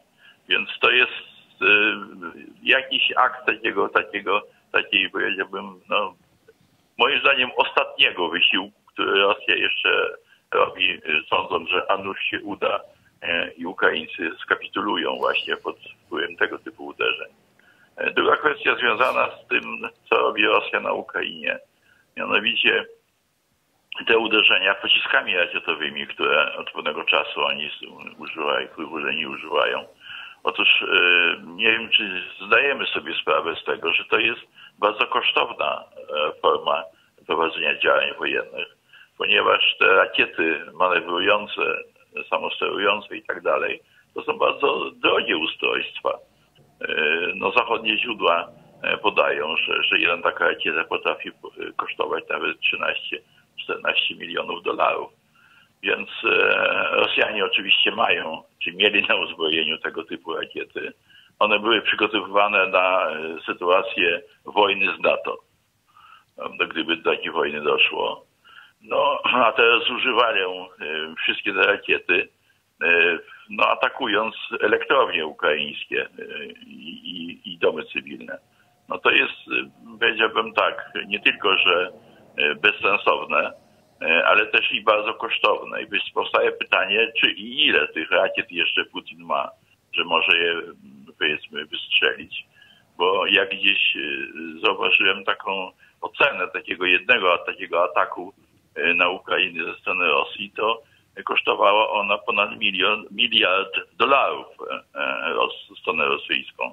No Rosja nie jest najbogatszym państwem i e, zdaje się, że niekoniecznie w tej chwili nawet ma różnego rodzaju e, zespoły, komponenty, których może te rakiety budować, więc no to co robi to jest powiedziałbym ma charakter jakiegoś takiego dziwnego zachowania.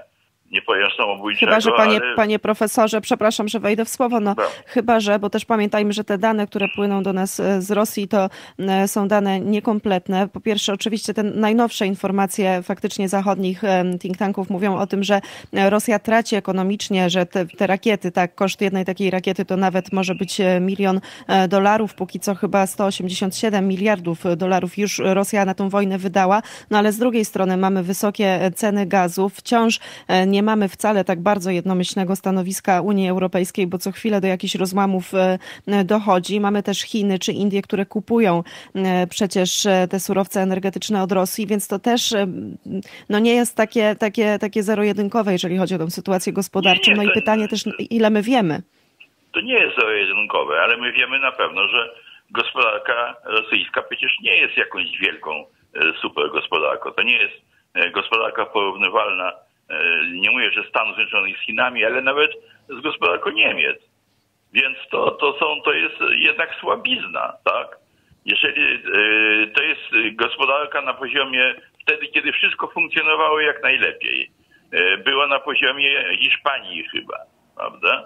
Więc e, trudno założyć, że, że nagle tutaj jeszcze w warunkach wojennych, w warunkach e, e, tego wszystkiego, tych sankcji, które jednak tak czy inaczej, ale jakoś, jakoś działają, funkcjonują, że oni jakieś mają nadzwyczajne dochody i czują się le, le, znacznie lepiej i mogą tych rakiet nieskończoną ilość wyprodukować. Nie, nie, nie. Ja myślę, że, że tutaj to, to nie jest zero-jedynkowe, ale, ale, ale to jest sytuacja niewątpliwie y, bardzo krytyczna, jeżeli idzie o, o stronę rosyjską. To panie profesorze, jeszcze na moment spójrzmy na e, Polskę. Mamy od, propozycję od Niemiec, e, propozycję e, dotyczącą zabezpieczenia przestrzeni powietrznej. Mamy odpowiedź ministra Błaszczaka, który zaproponował, który uważa, że lepiej, aby właśnie rozmieścić te systemy na terytorium Ukrainy. Czy pan uważa, że to jest dobre posunięcie, dobra propozycja ze strony ministra Błaszczaka? To znaczy ja, ja traktuję tę propozycję tych chyba dwóch niemieckich e, baterii rakiet Patriot, e, które nie są najnowocześniejsze. Jeszcze raz przypomnijmy, bo to, to są lata 80. E, Że, że jest to pewne, pewne propagandowe zagranie, z którego miało nic nie wyjść. Dlaczego? Dlatego, że założenie takie, że, że niemieckie je- jednostki będą na, stały na granicy polsko-ukraińskiej i będą strącać ewentualnie rosyjskie rakiety, e, otrzymując polecenia z Berlina, bo pamiętajmy, że ten, te, te rakiety nie miały być wpięte w polski system obrony przestrzeni powietrznej. One nadal miały być pod niemiecką komendą. no to, to wydaje się to, to dość kuriozalne.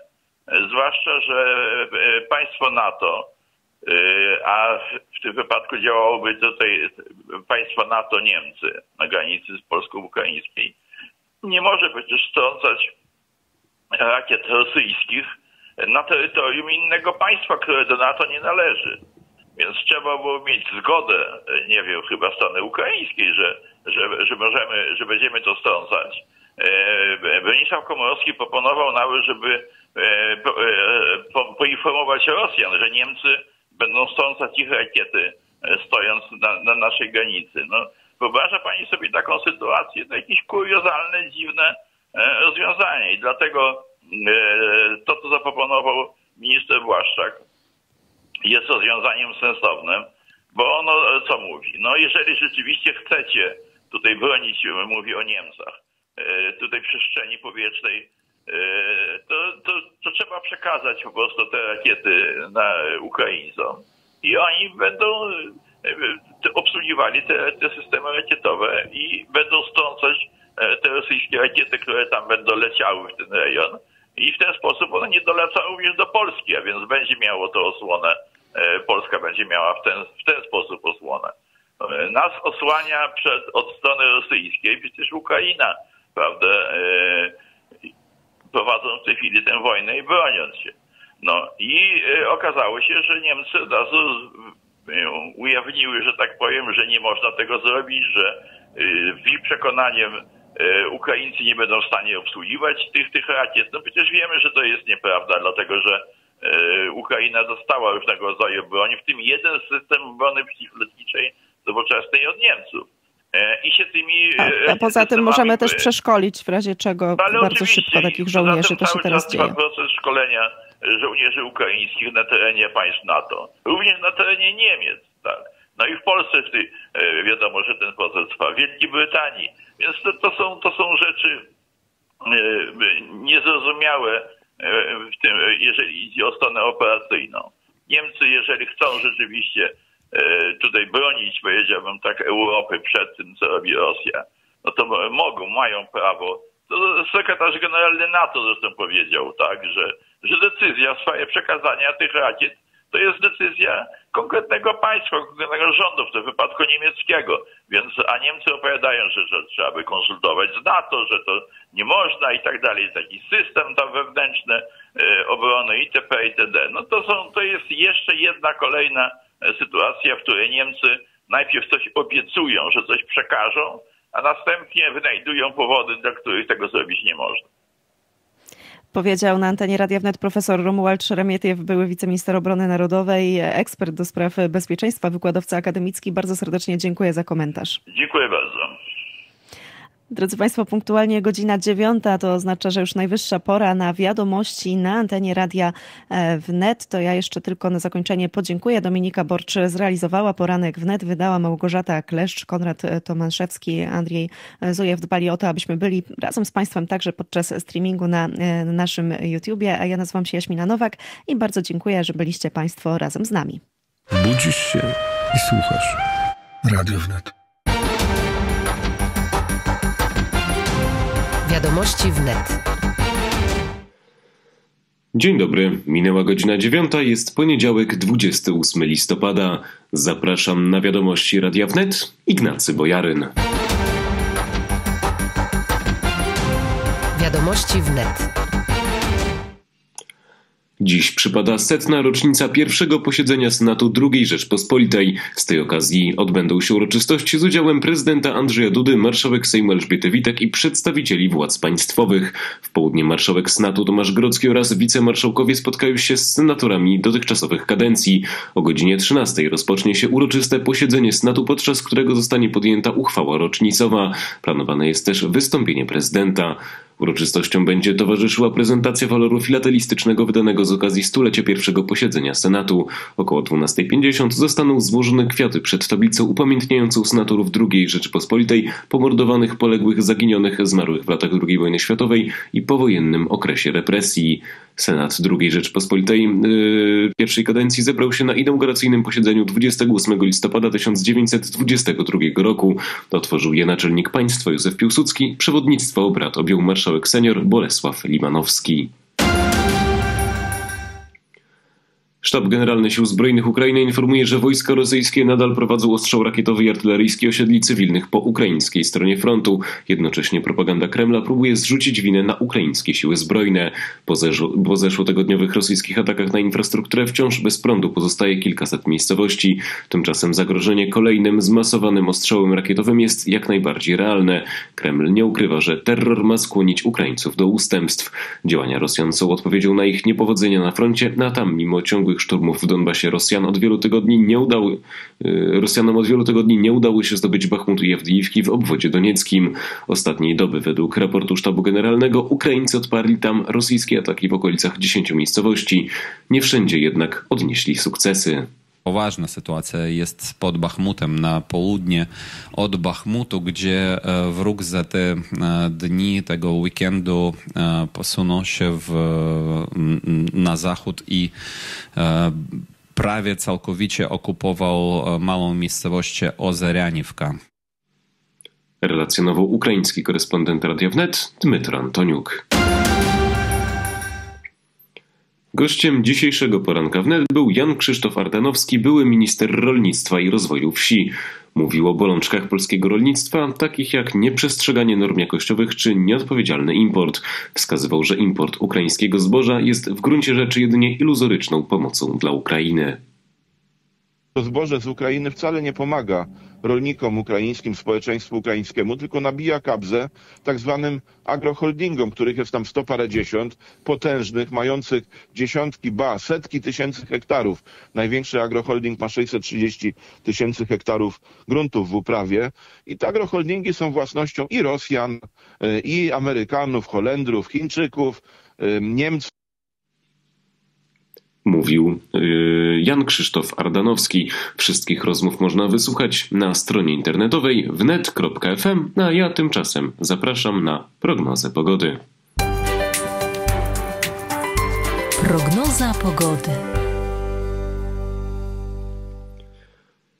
Dziś Polska pozostanie na peryferiach rozległego wyżu nad Rosji. W dzień spodziewajmy się dużego zachmurzenia i krótkotrwałych przyjaśnień. Słabopad deszczu, deszczu ze śniegiem oraz śniegu spodziewane są głównie na północnym wschodzie Polski. Poza tym padać raczej nie powinno. Temperatura powietrza będzie wynosiła od 3 stopni w rejonie Suwałk przez 6 w centrum kraju, yy, przez 3 w centrum kraju do 6 stopni Celsjusza na Dolnym Śląsku.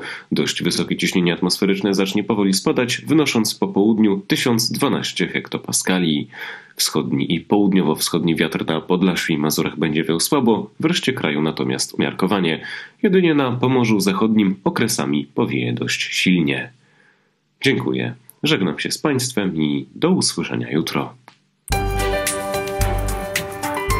Prognoza pogody.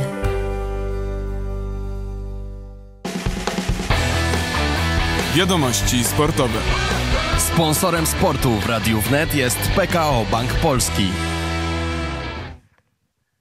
Dzień dobry, Grzegorz Milko. Za nami tydzień Mistrzostw Świata w piłce nożnej w Katarze.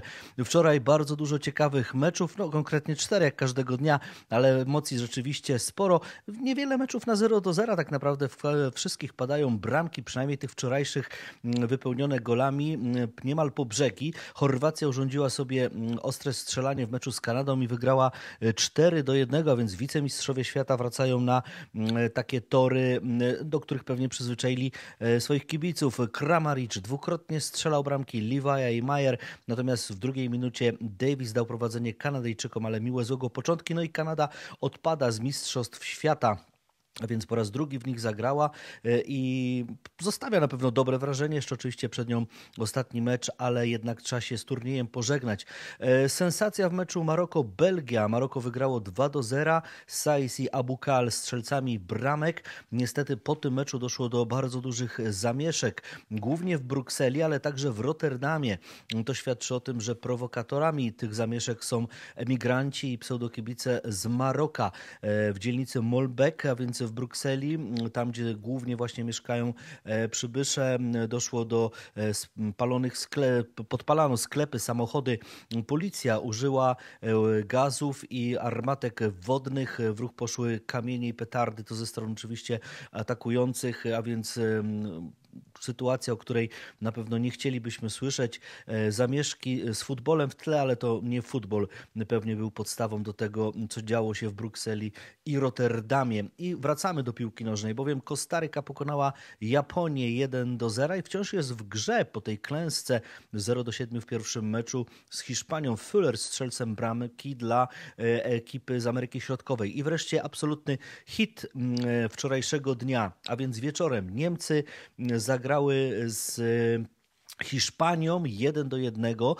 To e, Hiszpania prowadziła po bramce Moraty w 62 minucie, ale jeszcze byt Niemcom na tych mistrzostwach uratował e, napastnik Werderu Brema e, który w 83 minucie strzelił bramkę. Gdyby Niemcy ten mecz przegrały, to podobnie jak Kanada pakowałyby walizki, ale dzięki tej bramce i jednemu punktowi jeszcze mm, w ostatniej serii dojdzie do absolutnego meczu o wszystko, bowiem Niemcy zagrają z Kostaryką, no i jeśli wygrają, oczywiście e, najprawdopodobniej awansują do kolejnej rundy. E, A więc bardzo dużo ciekawych sytuacji, informacji na mundialu. E, My wiemy, że Robert Lewandowski odnalazł tego kibica, który najpierw był w koszulce zielonej Arabii Saudyjskiej, a później ściągnął i miał pod spodem trykot biało mm, nie- czerwony z napisem Lewandowski z numerem 9, a więc to taki farbowany kibic. Jest ich spora grupa przywieziona z między innymi z Bangladeszu i z Indii, mm, żeby po prostu zapełnić trybuny. Na niektórych stadionach nie ma y, kompletu, tak organizatorzy postanowili. Robert Lewandowski odnalazł tego kibica, oczywiście nie sam, pewnie y, przy pomocy e, osób, które były w stanie dotrzeć do niego i spotkał się z nim w hotelu, gdzie e, jest reprezentacja Polski. Wręczył mu koszulkę e, już taką oryginalną, meczową z napisem Lewandowski. Zrobili sobie panowie zdjęcia, więc sympatyczna sytuacja, chociaż ja słyszałem takie głosy, a czemu Lewandowski nie rozdaje koszulek tym, którzy od zawsze go wspierają, jeszcze od czasów, kiedy nie był tym wielkim Robertem, no ale tyle koszulek pewnie to nawet Lewandowski swoich e, nie posiada. Natomiast e, co dziś? Dziś o godzinie em, 11 najpierw gramy mecz pod tytułem e, Ekwador-Senegal. E, To jest e, sytuacja, gdzie Ekwador i Senegal mają po zwycięstwie. E, No jest bardzo ciekawy mecz o godzinie, przepraszam, dwa mecze o 16. Właśnie dzisiaj są te już rozgrywane. To jest, przypomnijmy, że mm, a nie, przepraszam, już, już teraz wracam. Jest tak, tak, ten skarb kibica rzeczywiście jest tak, e, tych meczów jest tak dużo, że, że człowiek się może pomylić. Więc jeszcze raz wróć, przepraszam, 11, godzina 11, Kamerun, Serbia. O właśnie, ostatnia grupa, więc grupa G i H zaczynają swoje mecze w tej e, przedostatniej kolejce. Następnie, kiedy już mecz Polski, między innymi w, w środę z Argentyną, wszystkie mecze o tych samych godzinach, żeby no nie było mm, kalkulacji jakichś niepotrzebnych. A więc tak, dziś o 11 Kamerun, Serbia, dalej o godzinie 14 Korea Południowa, Ghana, godzina 17 Brazylia, Szwajcaria. No i tu dowiemy się, jak poważna jest kontuzja Neymara, czy on zagra przeciwko Szwajcarom i Brazylia i Szwajcaria mają na razie komplet punktów. No i wreszcie mecz również istotny, ważny Portugalia-Urugwaj. Portugalia-Urugwaj oczywiście w barwach Portugalii Cristiano Ronaldo, którym jest niezwykle głośno, bowiem jak wiadomo rozwiązał za porozumieniem- stron e, kontrakt z Manchesterem United. Bardzo dobrze pokazał się w swoim pierwszym meczu, kiedy strzelił bramkę z rzutu karnego i jest najstarszym piłkarzem który strzelił gola obok e, Rogera Milia, zarazem e, pierwszym piłkarzem, który na pięciu e, kolejnych mundialach zdobywał gole. E, I Cristiano Ronaldo, już mówi się o tym, e, spekuluje się, gdzie on może zagrać po Mistrzostwach Świata, z kim podpisze kontrakt w tym zimowym okienku transferowym. Tych klubów jest co niemiara. Przede wszystkim Sporting Lizbona, bo jest taka idea, żeby zaczął, e, skończył swoją karierę tam, gdzie ją zaczynał, a więc właśnie w Sportingu, kiedy to e, z Madery właśnie Sporting ściągnął wtedy młodziutkiego Cristiano, utalentowanego i tam tak naprawdę wszedł w wielki świat futbolu. Ale mówi się o tym, że może Real Madryt, może Chelsea, Newcastle, który buduje potęgę też na arabskich pieniądzach, ma taką ochotę, by Cristiano u nich zagrał. Al Nasr, a więc klub z Arabii Saudyjskiej i pojawiła się informacja, że Flamengo Rio de Janeiro, a więc potęga południowoamerykańskiej e, piłki mm, nożnej, e, może także mm, ma wielką ochotę na to, by ściągnąć Cristiano Ronaldo. No i ostatnia informacja dotycząca Igi Świątek. Tak szybko Iga rozpoczyna e, przygotowania do nowego sezonu i z kim? E, Z Rafałem Kwiatkowskim, a więc popularny Kwiato na tym pierwszym etapie pomaga Idze Świątek. Wspólne zdjęcie, wspólna gra w tenisa, ale także motoryka, bo to jest ważne. Kwiatkowski jest nieprawdopodobnym kolarzem, słynącym z, stalowych, z żelaznych płuc i gdzieś tam też od niego e, te, te takie powiedzmy kwestie motoryczne Iga Świątek będzie chciała skorzystać z jego porad, a więc dobrze, polscy sportowcy, wielcy mistrzowie wspierają się. Dziś godzina 16.45, studio Mundial, na które serdecznie zapraszam i oczywiście jesteśmy z Państwem przy wszystkich najważniejszych wydarzeniach sportowych. W środę wielki mecz Argentyna-Polska i też będziemy oczywiście przed meczem, a także po nim. Dziękuję i do usłyszenia. Wiadomości sportowe. Sponsorem sportu w Radiu Wnet jest PKO Bank Polski. Reklama. Czas ucieka, a ty nie masz jeszcze prezentów. Wszystkie prezenty wydają ci się zbyt prozaiczne. Spokojnie. Odwiedź afrykański sklep Amakuru. sklep.salvatti.pl Tam znajdziesz oryginalne prezenty dla najbliższych. sklep.salvatti.pl Zamów, a prezenty same przyjadą do ciebie. sklep.salvatti.pl Po reklamie. Autopromocja. Wojciech Cejrowski i Krzysztof Skowroński rozmawiają o Ameryce i Polsce w studiu Dziki Zachód. W każdy poniedziałek o godzinie 18 na antenie Radia Wnet. To była autopromocja. Studio Taipei. Studio Taipei. Taipei.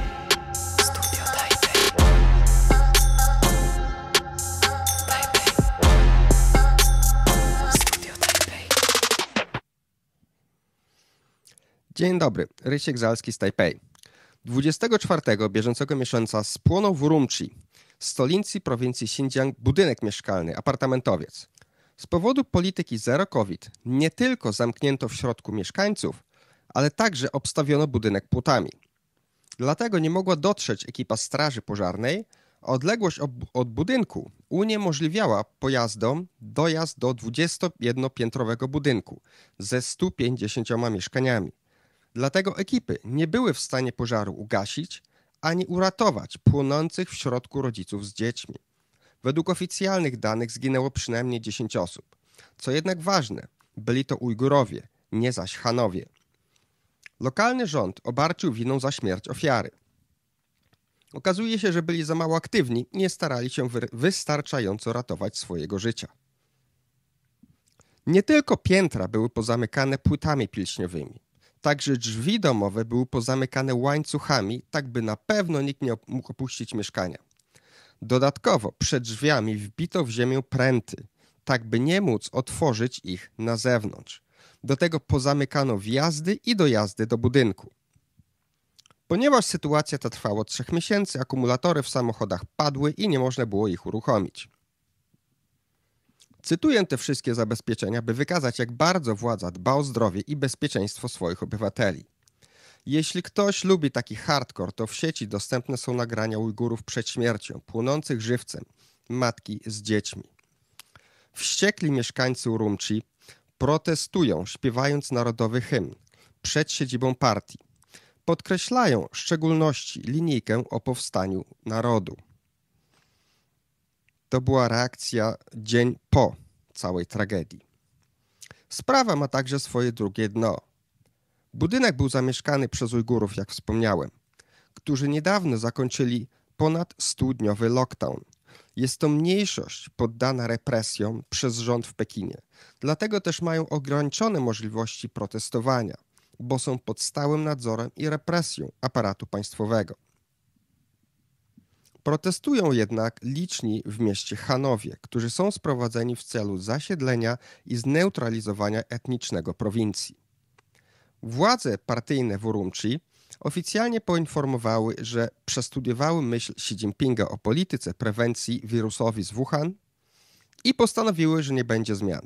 Należy poprawić stosunki ze społeczeństwem i wprowadzić w życie politykę przewodniczącego. Jeśli ktoś myli, że się zgrywam, to niestety jest to oficjalny komunikat partyjny. Sytuacja ta szybko przyciągnęła uwagę w pozostałych częściach kraju, ponieważ reszcie obywateli grozi podobny los w innych pozamykanych budynkach. Bohaterem został otyły chłopak w Chongqing z plecakiem Supermana, który dłuższy czas przemawiał do zebranego tłumu, omawiając cenę marchewki jako przykładu nadużyć władzy i tego, jak traktuje społeczeństwo. Krzyczał o biedzie i zniewoleniu. Między innymi daj mi wolność lub zabij mnie.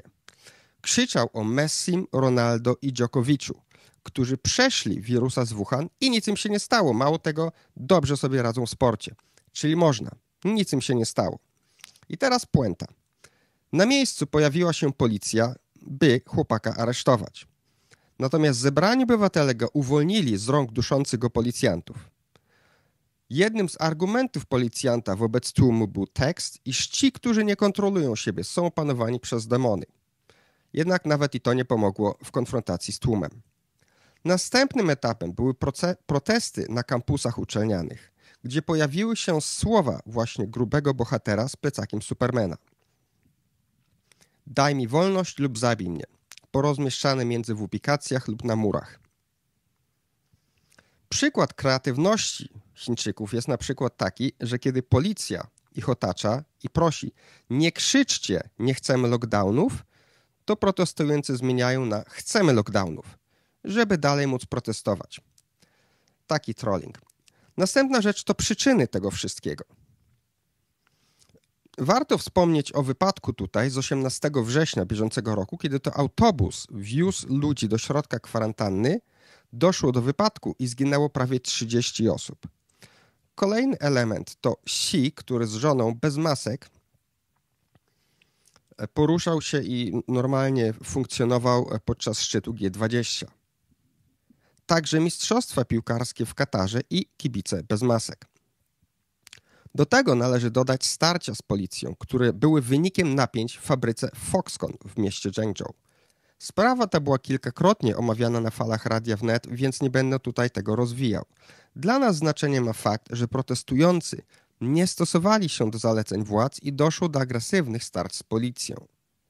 Także to, iż wiadomość ta przedostała się do opinii publicznej na świecie i potwierdza opór wobec partii, w szczególności zaś wobec sztandarowej polityki Xi Jinpinga.